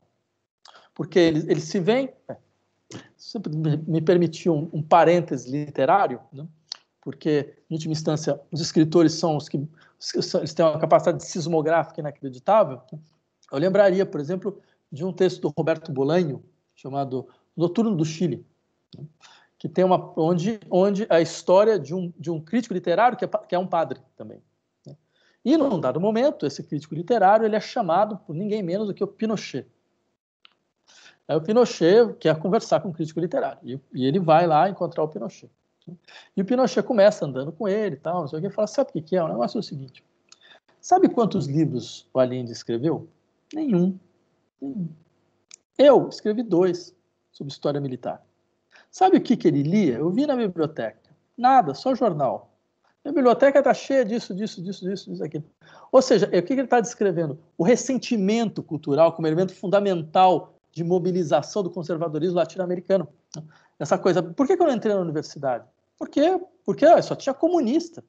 Os comunistas pegaram todos os espaços. Entendeu? Então, é claro, o, o, verdadeiro saber, o verdadeiro, a verdadeira escrita, tudo está fora, está fora da universidade.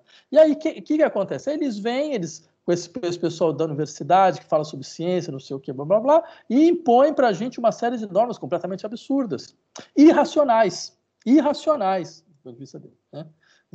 Que não faz o menor sentido, pede uma coisa aqui, mas não pede outra coisa ali, faz, faz dessa maneira aqui, mas não faz do outro jeito, ou seja, de fato, até explorando né, uh, o, o, uh, o caráter meio ajambrado que se vai, que se vai tentando desenvolver o sistema de, de defesa, né, porque o Estado tem que, tem que dar conta de uma série de, de, de pressuposições contraditórias, de exigências contraditórias, de tipo, exigência de, produ de produção e também exigência de segurança e por aí vai. Mas eu, insistiria um pouco nesse aspecto. Me parece que o eixo fundamental, de fato, é contra a universidade como instituição de reprodução social. Né? Não é contra a ciência. Né? Eles se veem como, como legatários de uma, verdade, de uma ciência efetiva. Né? Eles se veem como legatários de uma série de valores fundamentais do Ocidente. E eu diria, essa ideia do modernismo, do fascismo modernista, ahá, aí vem um dado interessante. É, como é que o senhor Bolsonaro acabou de assinar essa última carta que ele fez no dia 8 de setembro? que eu, eu, eu fiquei um pouco impressionado, porque para mim o que havia de mais, mais aterrador na carta era a assinatura. O resto não conta, o resto a gente esperava. A assinatura que foi impressionante. A assinatura era Deus, Pátria, Família, que é o slogan do integralismo. Nunca um presidente da história do Brasil assinou uma carta com o slogan do integralismo, assumindo isso para si. Então, se de fato ele se vê como uma espécie de continuador da tradição integralista, eu lembraria que a tradição integralista brasileira tem, tem raízes no modernismo. Né? Quer dizer, Plínio Salgado é o Manifesto para o Brasil, é o Manifesto Verde e Amarelo. Né? Era, era o, o, outro setor do modernismo, né? que era o setor que vai dar na, na sustentação do fascismo, é verdade. Mas percebe, ele chega até aqui. Né?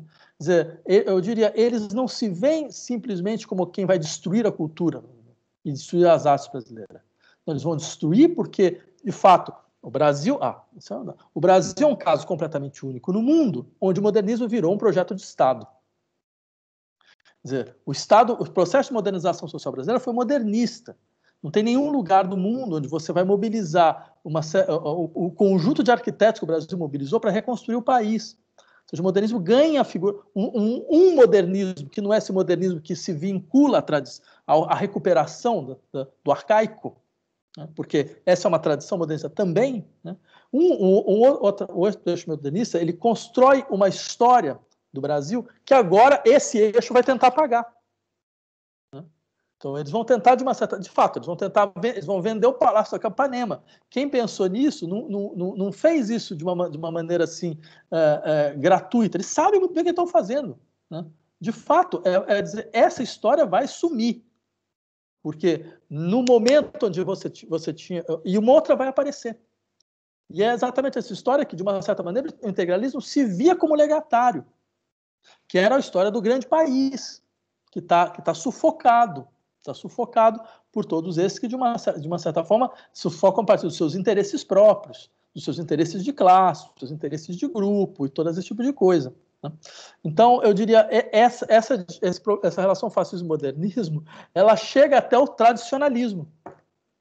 Né? É, ela, ela, não, ela, ela, ela é mais ambígua, eu diria, as posições são muito mais ambíguas do que podem parecer.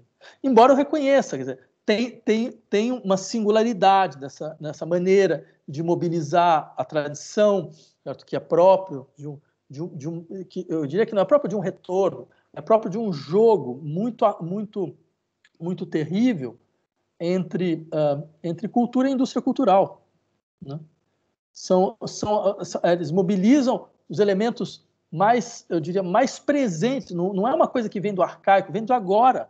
Eles mobilizam um setor, que é, o, que é o setor fascista do discurso da indústria cultural, que é o potencial fascista e paranoico do discurso da indústria cultural.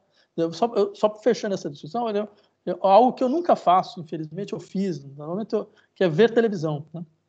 E aí, por, por, por, um grande acaso, eu caí num canal chamado History Channel, que a princípio, se eu entendi bem, é um canal de documentário sobre história. Né? Só que eles estavam apresentando um documentário sobre os deus, como, como, os deuses, na verdade, é, é tópico clássico, como os deuses eram astronautas, na verdade. E aí mobilizava não só os deuses astronautas, mas também os vampiros. Né? Eles procuravam fazer é, a absorção de DNA, né? porque através do, DNA eles poderiam então é, recompor as formas, mudar radicalmente de formas, como é um elemento próprio dos deuses que estão, estão nas tradições arcaicas, que no fundo eram, era uma característica fundamental desses extraterrestres que vieram aqui desde o início. Ou seja, um discurso completamente paranoico. E mais interessante do que isso é que é, é, o documentário era feito de uma forma tal que você não conseguia distinguir quando terminava o documentário quando começava a publicidade. Porque era o mesmo tom, era, era, era o mesmo corte, eram as mesmas cores, era tudo. Ou seja, você não consegue mais fazer distinção. Publicidade, informação, certo? Eh, pesquisa, paranoia. Né? Ninguém precisou do Bolsonaro para chegar nesse lugar. Isso é o que eu queria dizer. Não? Ninguém precisou. O que eles fazem é simplesmente eles expõem um elemento que é constituinte das nossas, assim, nosso modelo de circulação de entretenimento e informação, né, que está presente para qualquer pessoa que possa ligar a televisão. Então, não é nenhuma não, não, é, não é um recurso ao arcaico, é a exposição das contradições do presente. A exposição das contradições é, exatamente daquilo que, a, que seria, entre outras coisas, um espaço de democracia, porque a indústria cultural, no sentido da, da democratização do, do, acesso, da democratização da produção e todo esse tipo de coisa. Né? É, obrigado, professor Vladimir. E Denis também pelos questionamentos. Acho que nós aprofundamos o debate assim. Eu passo a palavra, então, à professora Poliana, e depois nós temos perguntas aqui dos, dos nossos eh, participantes que eu gostaria de ler e apresentar, então, para o Vladimir, responde. Eh, mas antes disso, então, comentários e questões da professora Poliana, por favor. Obrigado, tá, Poliana? Certo, obrigado, Luiz. Bom, eu queria uh, primeiro agradecer né, imensamente a, ao professor uh, Vladimir pela excelente exposição, reiterar os agradecimentos do PPG, né, pelo aceite uh, de, de, participar na aula inaugural. Uh, queria lembrar também, né, que uh, o pessoal pode continuar enviando perguntas pelos, pelo chat, já bastante, bastante apontamentos aqui, né, algumas questões que a gente vai encaminhar depois ao professor Sapaki.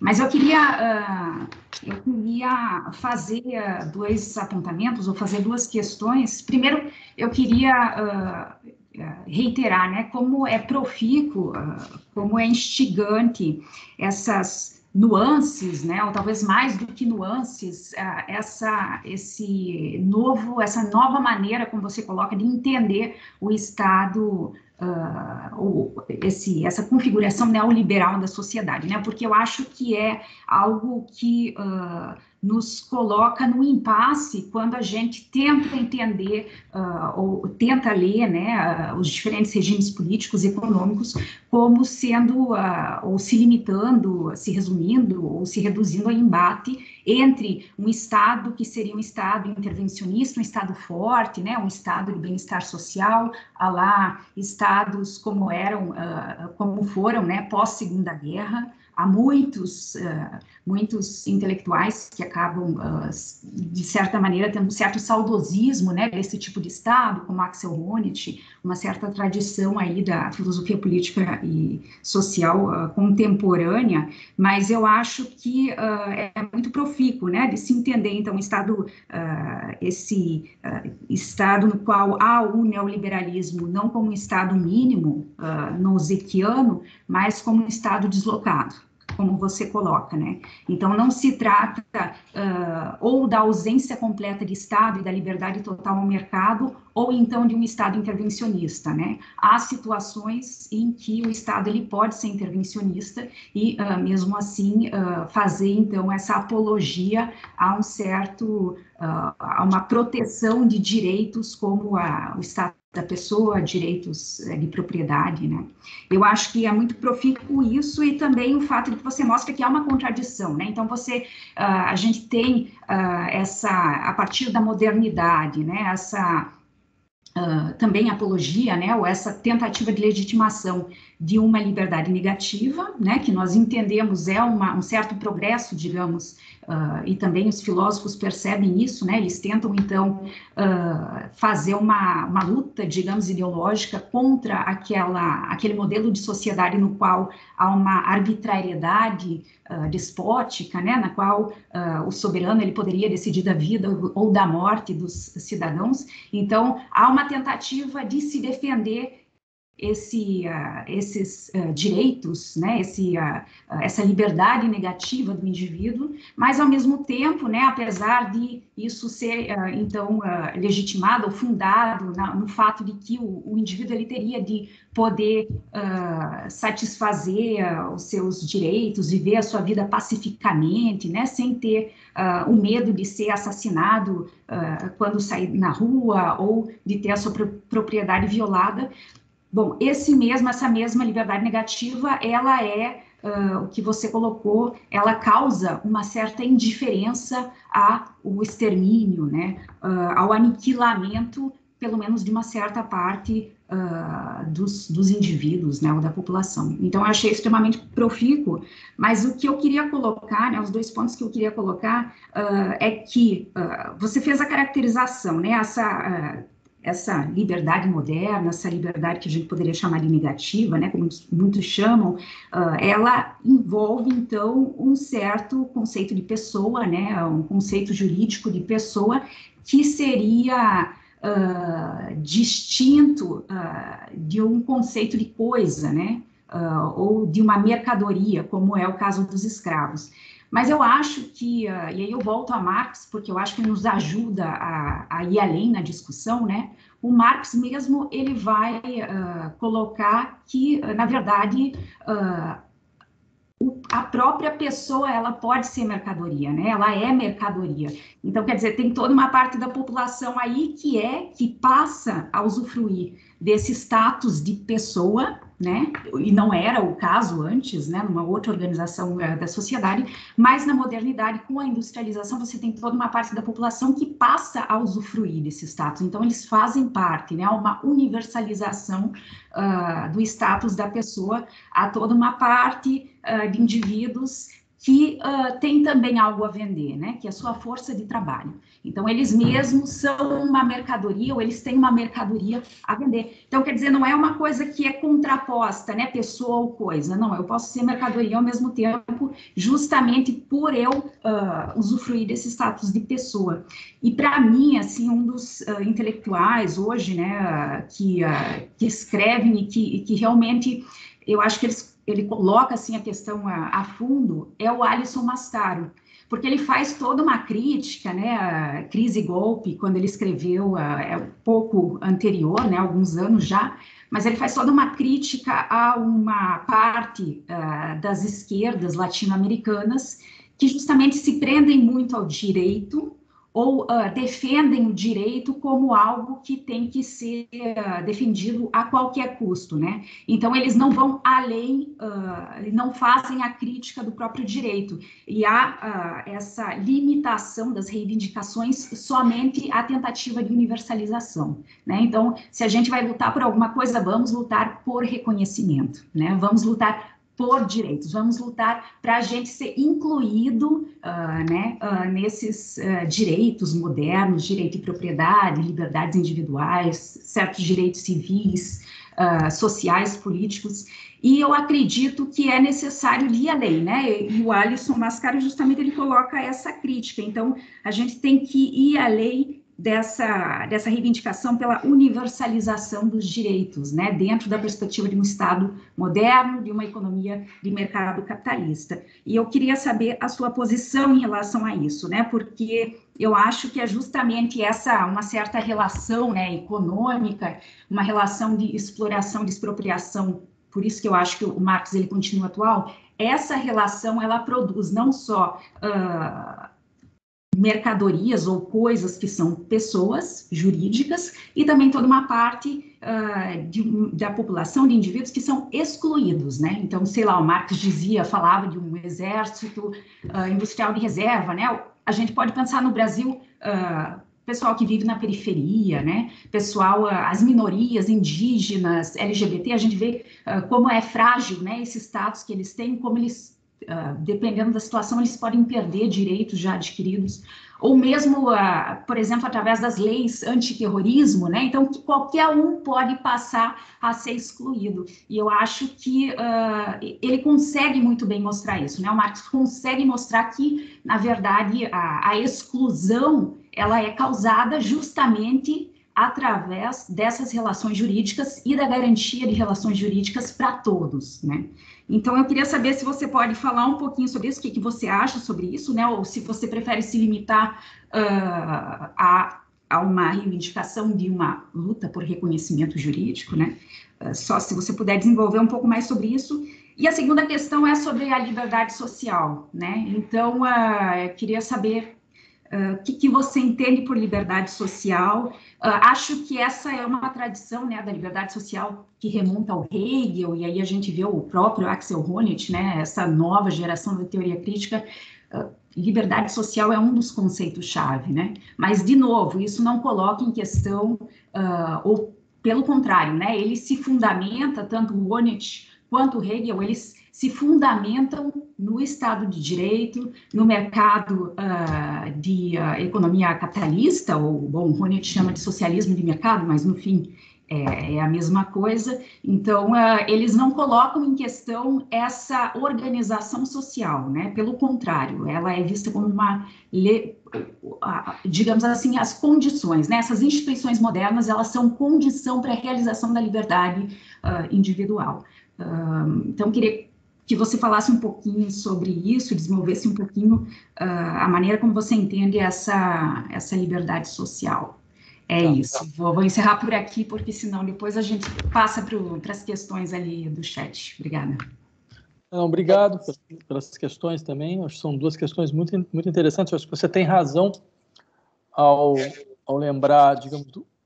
Estou ouvindo alguma coisa? Está tudo bem? Estão ouvindo bem? Sim. Tá.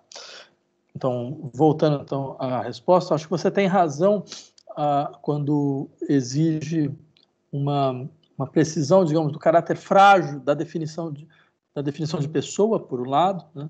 seja uma pessoa que pode a todo momento cair a outra condição, né?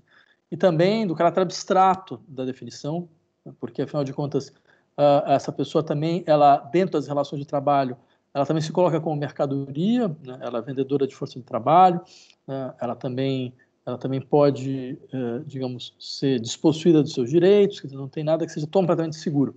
Eu, eu reconheço, acho que a, a colocação ela é importante para precisar melhor, melhor essa discussão, uh, embora eu insistiria que existe dentro das sociedades capitalistas alguns dispositivos de preservação da condição de pessoa. Né? E esses dispositivos eles são generalizados. Por exemplo, há dispositivos de raça. Né?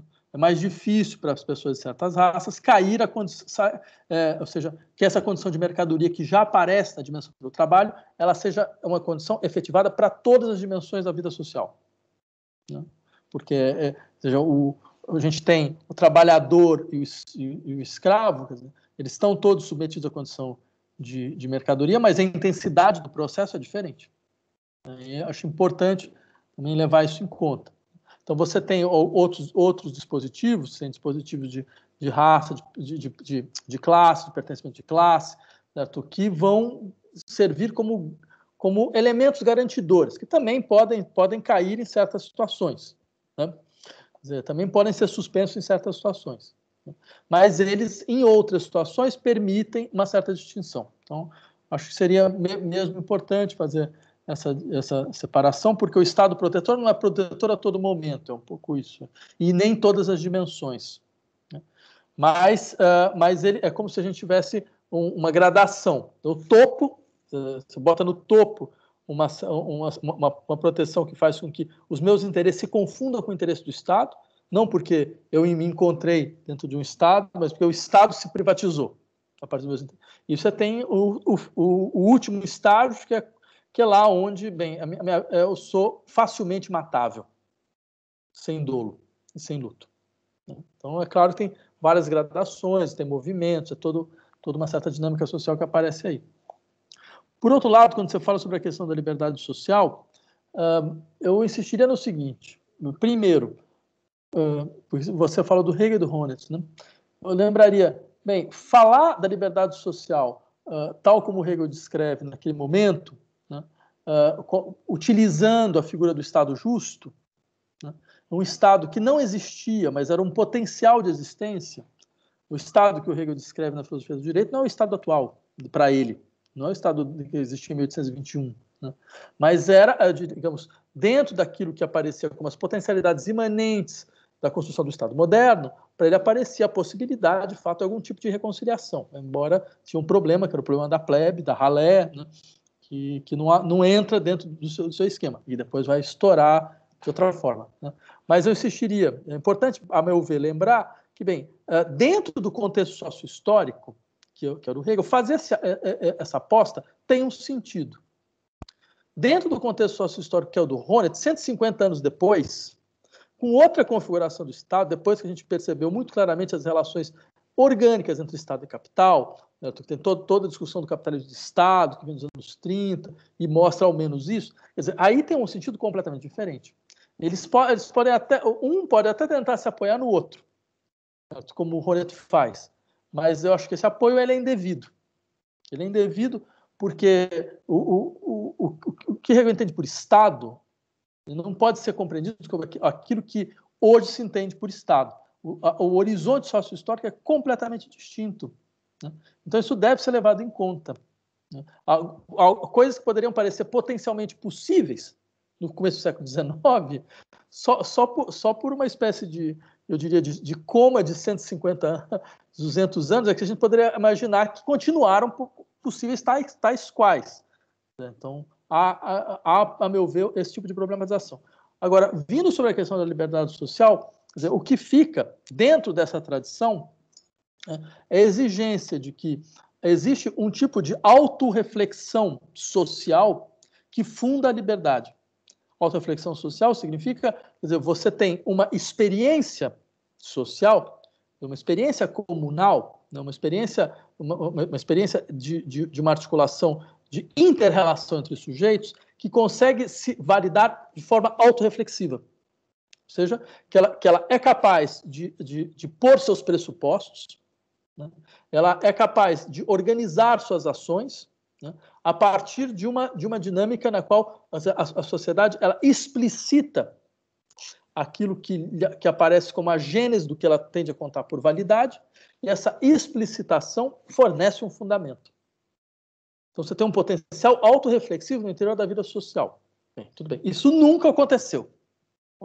Nunca aconteceu dessa forma. O que não significa que, afinal de contas, é, e não possa servir como horizonte regulador que, que fornece a base para a nossa crítica social, certo? e fornece também a nossa base para. Isso não significa que é um mero horizonte regulador, significa que é, é um potencial não realizado. Pode ser. Né? Mas isso não significa, eu insistiria que, uh, nesse sentido, a liberdade social é, é um potencial irrealizado. Né? Então, ela não, não é algo que serve como uma espécie de, de defesa. Por isso é, que, que, nós, que nós faríamos de algum tipo de experiência de forma de vida atual. Né? Então, ou seja, alguma coisa como tipo, não, não, mas veja o Estado de, democrático de direito. Né? ele está sendo colocado em risco, então a liberdade social está sendo colocada em risco. Não. Eu, eu, eu diria, há, há, de se, há, de se, compreender que esse é um conceito eminentemente crítico. E nós temos vários conceitos eminentemente críticos, né? seja, que funcionam, que funcionam exatamente a partir dessa, dessa distância em relação ao que foi possível até agora. É, obrigado. Então, é, Poliana, antes de passar as palavras uh, propriamente para os colegas, os, os, ouvintes nossos, eu quero passar a palavra ao, ao professor Castor, do colega do nosso PPG, é, que quer fazer uma pergunta ao professor, então. Professor Castor, está aí? Ele havia levantado a mão. Castor. Sim. É, está Oi. escutando? Sim, sim, estamos escutando. Só, é, Vladimir, eu não sei se estou conseguindo colocar a, a eu acho que a, a, imagem não está saindo, né? Não, mas estamos te ouvindo muito bem. Boa tarde, Vladimir. É, aqui, aqui é o professor Castor. Agradeço muito a, a apresentação, realmente muito interessante, muitas questões.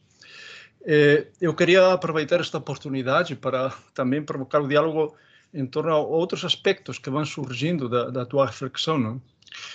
É, um primeiro ponto seria é, uma, te provocar para nos ajudar a pensar em relação aos efeitos deslocalizadores, não? para além de qualquer território fronteira eh, da pandemia, que teria seria muito mais que teria mais muito mais que uma analogia com os efeitos deslocalizadores do novo capital financeiro e das novas tecnologias digitais. Estas para, para eh, influenciar as condutas. Bom, se esta hipótese é correta, uma primeira questão que queria te ouvir é é, se não haveria que acompanhar criticamente como os dispositivos de controle e gestão da pandemia, entre eles os dispositivos de exceção e de gestão de comportamentos, não? serão trasladados com mutações diversas, certamente, para o gerenciamento do capital financeiro e da algoritmização globalizada da vida, como, como foram também os dispositivos eh, eh, no caso, as técnicas de disciplinamento das pandemias dos séculos XVI e XVII também colaboraram fortemente para construir o que nós temos hoje ainda como modelo de poder disciplinar, não é? Um segundo aspecto, é, queria te ouvir sobre isso, não é? é? porque isto me parece que vai ser uma linha de, de reflexão e de pensamento importante nos, nos próximos anos. Se a, se a, hipótese anterior é mais ou menos correta, que, também queria te ouvir é, a relação é, com a nova articulação conservadora, internacional conservadora, né? que integra os velhos modelos da articulação internacionalista que desde os fascismos e os bolchevismos já mantinham, porém agora com umas com novas eh, estas novas articulações eh, integram daquelas velhas formas de organização política uma penetram digamos uma nova produção de subjetividades massificadas em grande escala parece é, é, aqui vou então parece haver um paralelismo inclusive eu queria te ouvir e uma similaridade no modo como os fascismos se utilizaram naqueles anos da década do século XX os incipientes meios de comunicação de massa rádio cinema né? lembremos as reflexões de Benjamin de Walter Benjamin nesse ponto né? Hoje temos a utilização dos algoritmos como dispositivo de governamentalização dos comportamentos, que de fato estão conseguindo direcionar com muito sucesso, com muita efetividade, massas enormes de, de pessoas, de opinião, de comportamentos, não? em múltiplas direções. Particularmente vemos no Brasil, que estamos assim assombrados, não? mas também nos Estados Unidos, que é uma coisa assim meio, meio absurda, mas enfim. Enfim, e como isto se consolida uh, uh, realmente um, um, um, uh, o segmento de bandeiras esdrúxulas, não é? Mas também, e este último ponto, articulando uma espécie de identidade bipolar. Eu queria te ouvir. É? Bipolar entre que? Entre o conservadorismo que você mencionou bem antes, me parece muito interessante a relação com o integralismo, com o Plínio, etc., que acho muito interessante, mas também com o antissistema.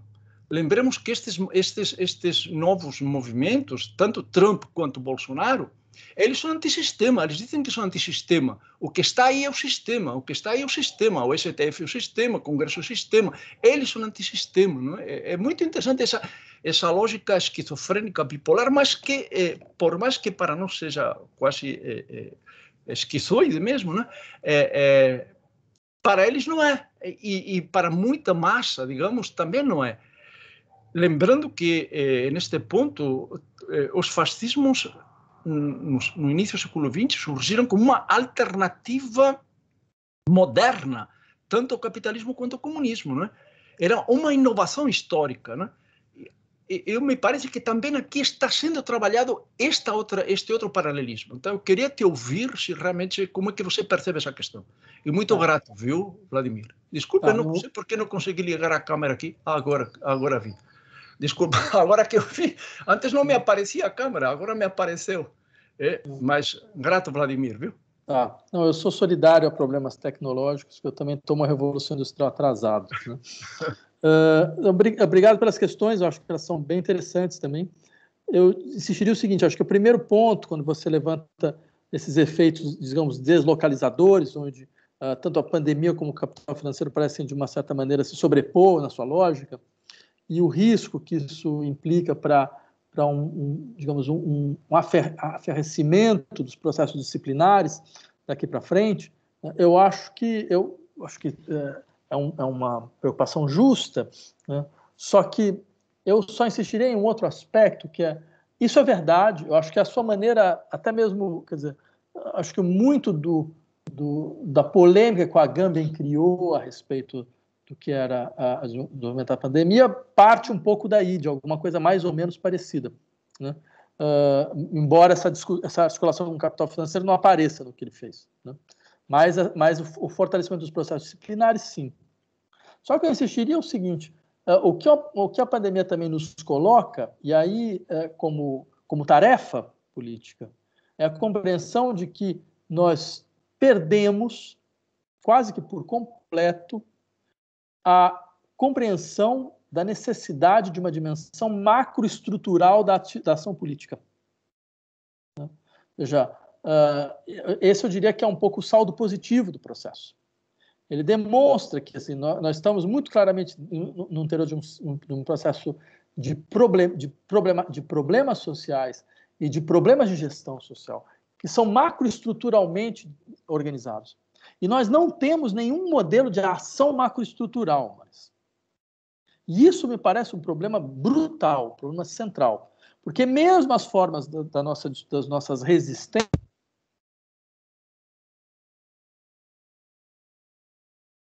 que são dimensões que, que elas podem dar conta de, de problemas efetivos em certas, em certas questões, mas não dão conta de, de, de outros tipos de problemas. E para esses tipos de problemas, a gente, a gente uh, entrou num certo modelo de reflexão de ação que nem que a questão é, é sequer aposta nesse nível.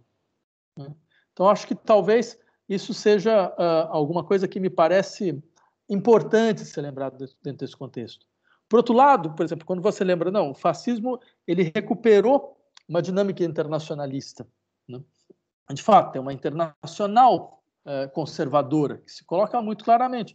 Eles, eles se articulam entre si. O Stephen Bannon vem para o Brasil. Né?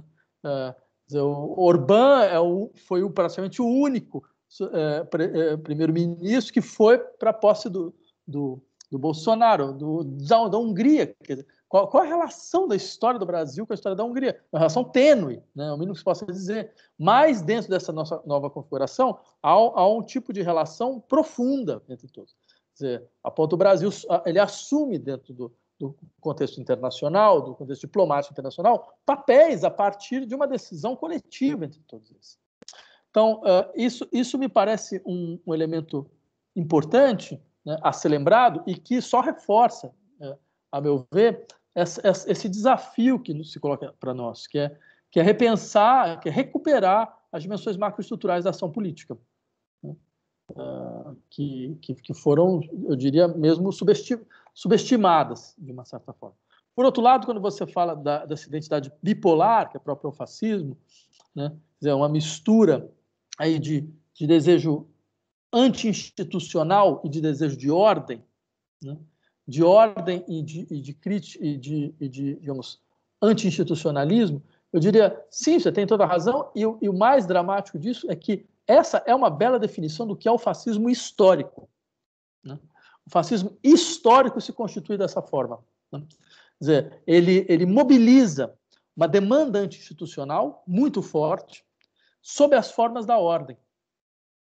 Esse aparente paradoxo né, não é, é, é, foi, eu diria, foi o elemento constituinte do fascismo.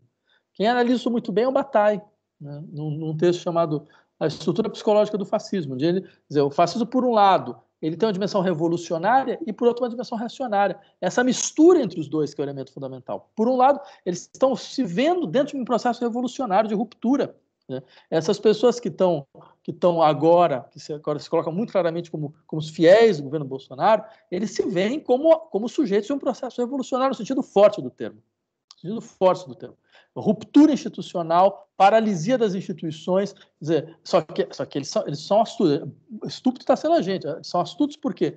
Eles, eles não colocam, você percebe, diante de uma situação onde, quer dizer, a, a, os contrários a eles, eles vão ter que ser aqueles que vão defender as instituições. Que instituição? Supremo Tribunal Federal, que com certeza é de, um, de, uma, de uma democracia absoluta. Né? Quer dizer, ela, ela, é a caixa de ressonância dos interesses da direita oligárquica brasileira, sempre foi. Né? Dizer, o que, que, eles fazem? Eles, eles, vão colocando a gente um pouco dentro dessa, dessa dinâmica, que é uma dinâmica paralisadora. Paralisadora mesmo. Até o ponto de você ver, mas, mas espera aí, mas toda a força institucional foi para o outro lado. Sendo que se tem um elemento fundamental da balança política é que essa força institucional se, se cinda no meio. Então, é, é, é importante que uma, uma, parte dessa força vá para o outro lado. Né? Quer dizer, a, a, que cada um ocupe seu lugar. Até porque, exatamente no, dentro desse processo de balanceamento, é que alguma coisa uh, aparece como, como negociação. Então, quer dizer, eu, esse é o paradoxo da política. Né? É, é só em situações de extrema polaridade que uma negociação é, é possível. Ela, ela, ela se realiza, ela, ela, porque ela aparece como necessária. Né? Então, eu insistiria, é importante compreender isso, né? que há uma dimensão radicalmente revolucionária desse processo, junto a uma dimensão reacionária. Né? É, essa, ou seja, é, é algo do, mas é possível explicar isso a partir do, do que poderia ser uma espécie de, de de psicologia social desse, desse, desse, desse, desse fenômeno. Né? Porque o processo revolucionário ele, ele, é, ele se realiza a partir do momento em que alguém como eu está no poder. Então, ou seja, eu que estou fora da dimensão institucional, agora eu estou no, no poder. Então é necessário uma, uma identificação profundamente narcísica entre o ocupante do poder certo? e aquele que é, que é digamos, o seu, uh, o seu, o seu suporte, né? uh, aquele, que, aquele que, se, que se vê lá. Então, essa identificação narcísica ela tem dois fundamentos mais decisivos. O primeiro deles é o ocupante do poder não pode estar no Estado. Então, você cria essa dinâmica aparentemente paradoxal de um governo contra o Estado. Ou seja, que é, um movimento, que, é, que é uma lógica interna de movimento, entendeu? Então, a todo momento, alguém como Bolsonaro vai dizer, não, mas está vendo, eu estou preso aqui dentro do Estado. Então, o Supremo Tribunal não deixou trabalhar, o, o, o, Parlamento não deixou trabalhar, a imprensa não deixou trabalhar, os funcionários mesmo, que são todos, todos comunistas, não deixam trabalhar, ou seja, eu estou completamente aprisionado aqui dentro. O que é uma maneira fantástica, porque ele não precisa entregar nada, né, e ele continua mobilizando todos os seus seguidores. Né?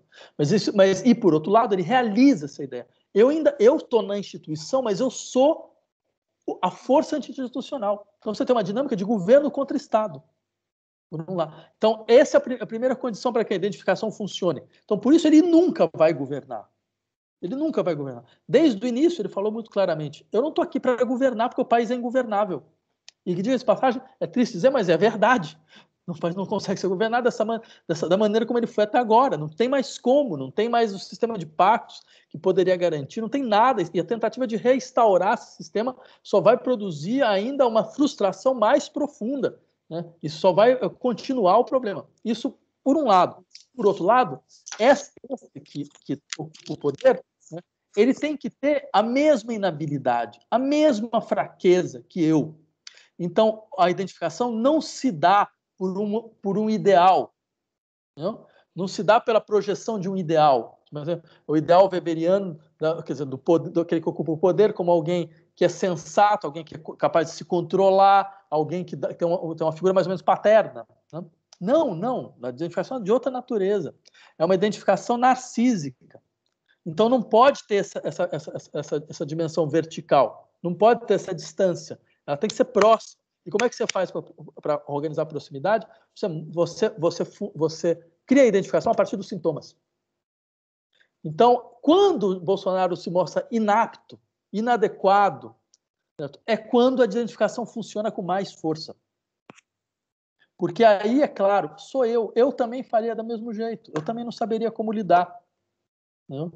Então, então eu preciso sustentar, porque, porque é, isso é democracia, eu no poder. Professor Vladimir, é, eu e Castor, agora com essas questões, eu só posso agradecer, assim, a nossa meta era é, trabalharmos até as 17h15 e nós vamos fazer isso. Eu, as questões são, são muitas e eu, eu pensei o seguinte, estava num dilema que o que, que eu faço com as perguntas do, das pessoas que estão nos ouvindo.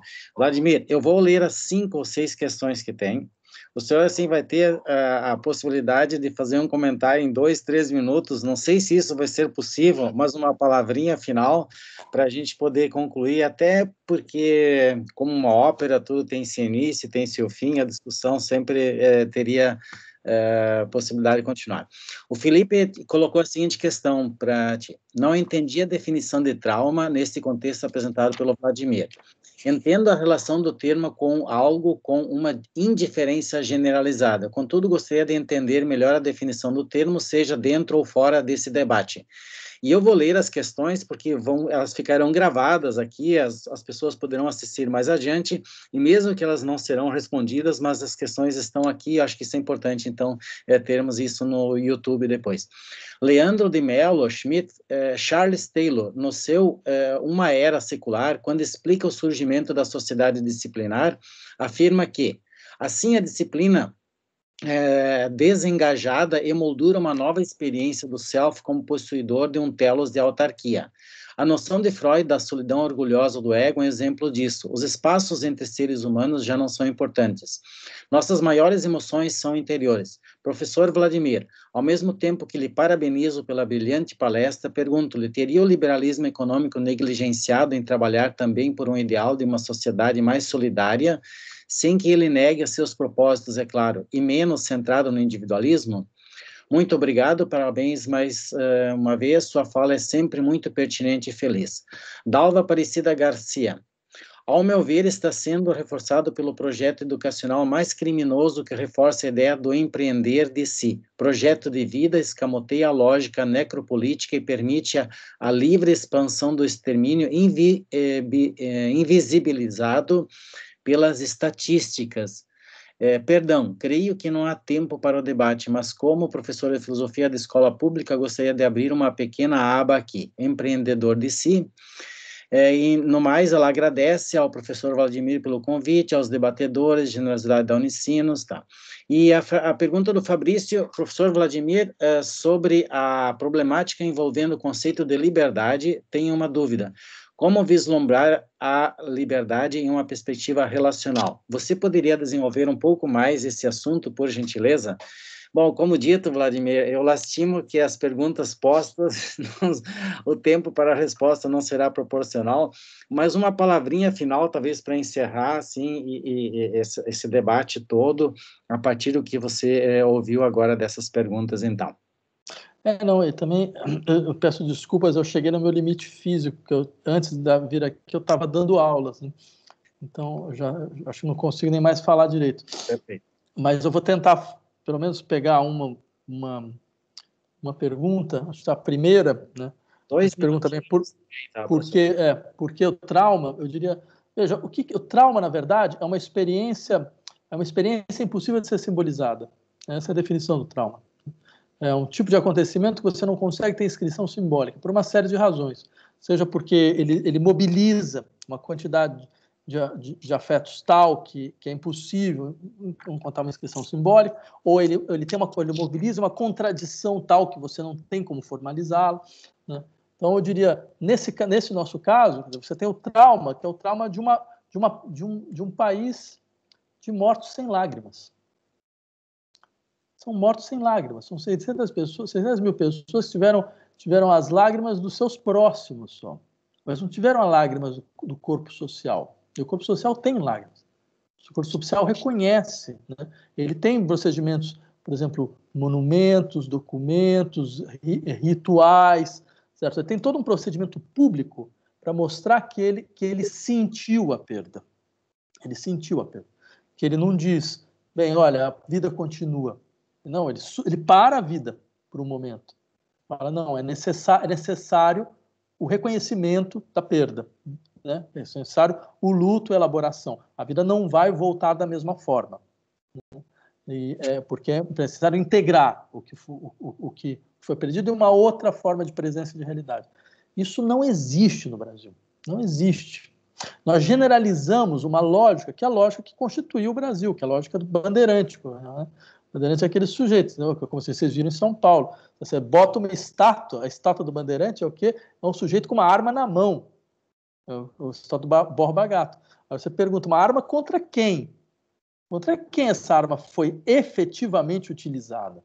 Contra um holandês que estava aqui defesa do território ou fora contra as próprias pessoas que constituem esse país? Né? Então, ou seja, isso é importante botar a estátua lá, porque a estátua diz o seguinte: não tem choro. O corpo social não, não sente, ele é insensível a essa, essa perda. E é isso que aconteceu agora.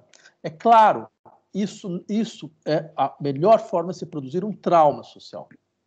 Porque isto que não ganhou nome, aquilo que não se encontra lugar no simbólico, volta no real, dizia o Lacan. Né? Então ele, vo ele volta de alguma forma. E a questão é, muitas vezes, das piores formas possíveis. Né?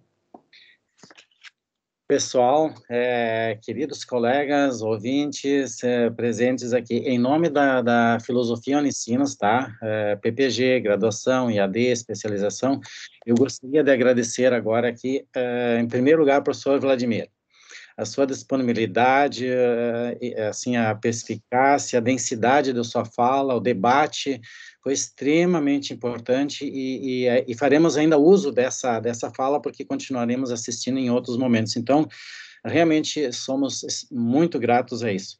Agradeço, então, também aos comentários da, do professor Denis, professora Poliana, professor Castor, e um agradecimento especial ao professor Inácio Helfer, é, por causa do temporal que teve na cidade dele, ele nem sequer pôde fazer a mediação, estar presente aqui, mas a, a, o Inácio que teve a, fez o convite, estabeleceu todo esse trabalho. Chat, Luiz. É. Inácio, tu quer uma palavrinha, Inácio? Não, tá. Eu não sei se ele está aqui. Então, no caso, eu, eu agradeço, tá? É, em nome do, do PPG ao Inácio. É, aos colegas todos do PPG que estavam presentes aqui e muita gente que nos acompanhou lá do Minter, do Mato Grosso, do nosso, da nossa turma especial da Bahia, o pessoal da especialização. É, foi realmente um grande, um grande prazer, uma grande alegria, professor Vladimir, e você proporcionou, acho que um belo debate que é, vai render frutos com o tempo, né? E eu acho que vai nos ajudar a talvez elaborar o luto de um de tanta gente que morreu e talvez nós não aprendemos a fazer isso em termos sociais, em termos políticos, né? Então, uma ótima tarde a todos, pessoal. Muitíssimo obrigado mais uma vez e se cuidem. E, e é isso, então. Grande abraço. Tá bom? Eu agradeço, então, todo mundo. Muito obrigado.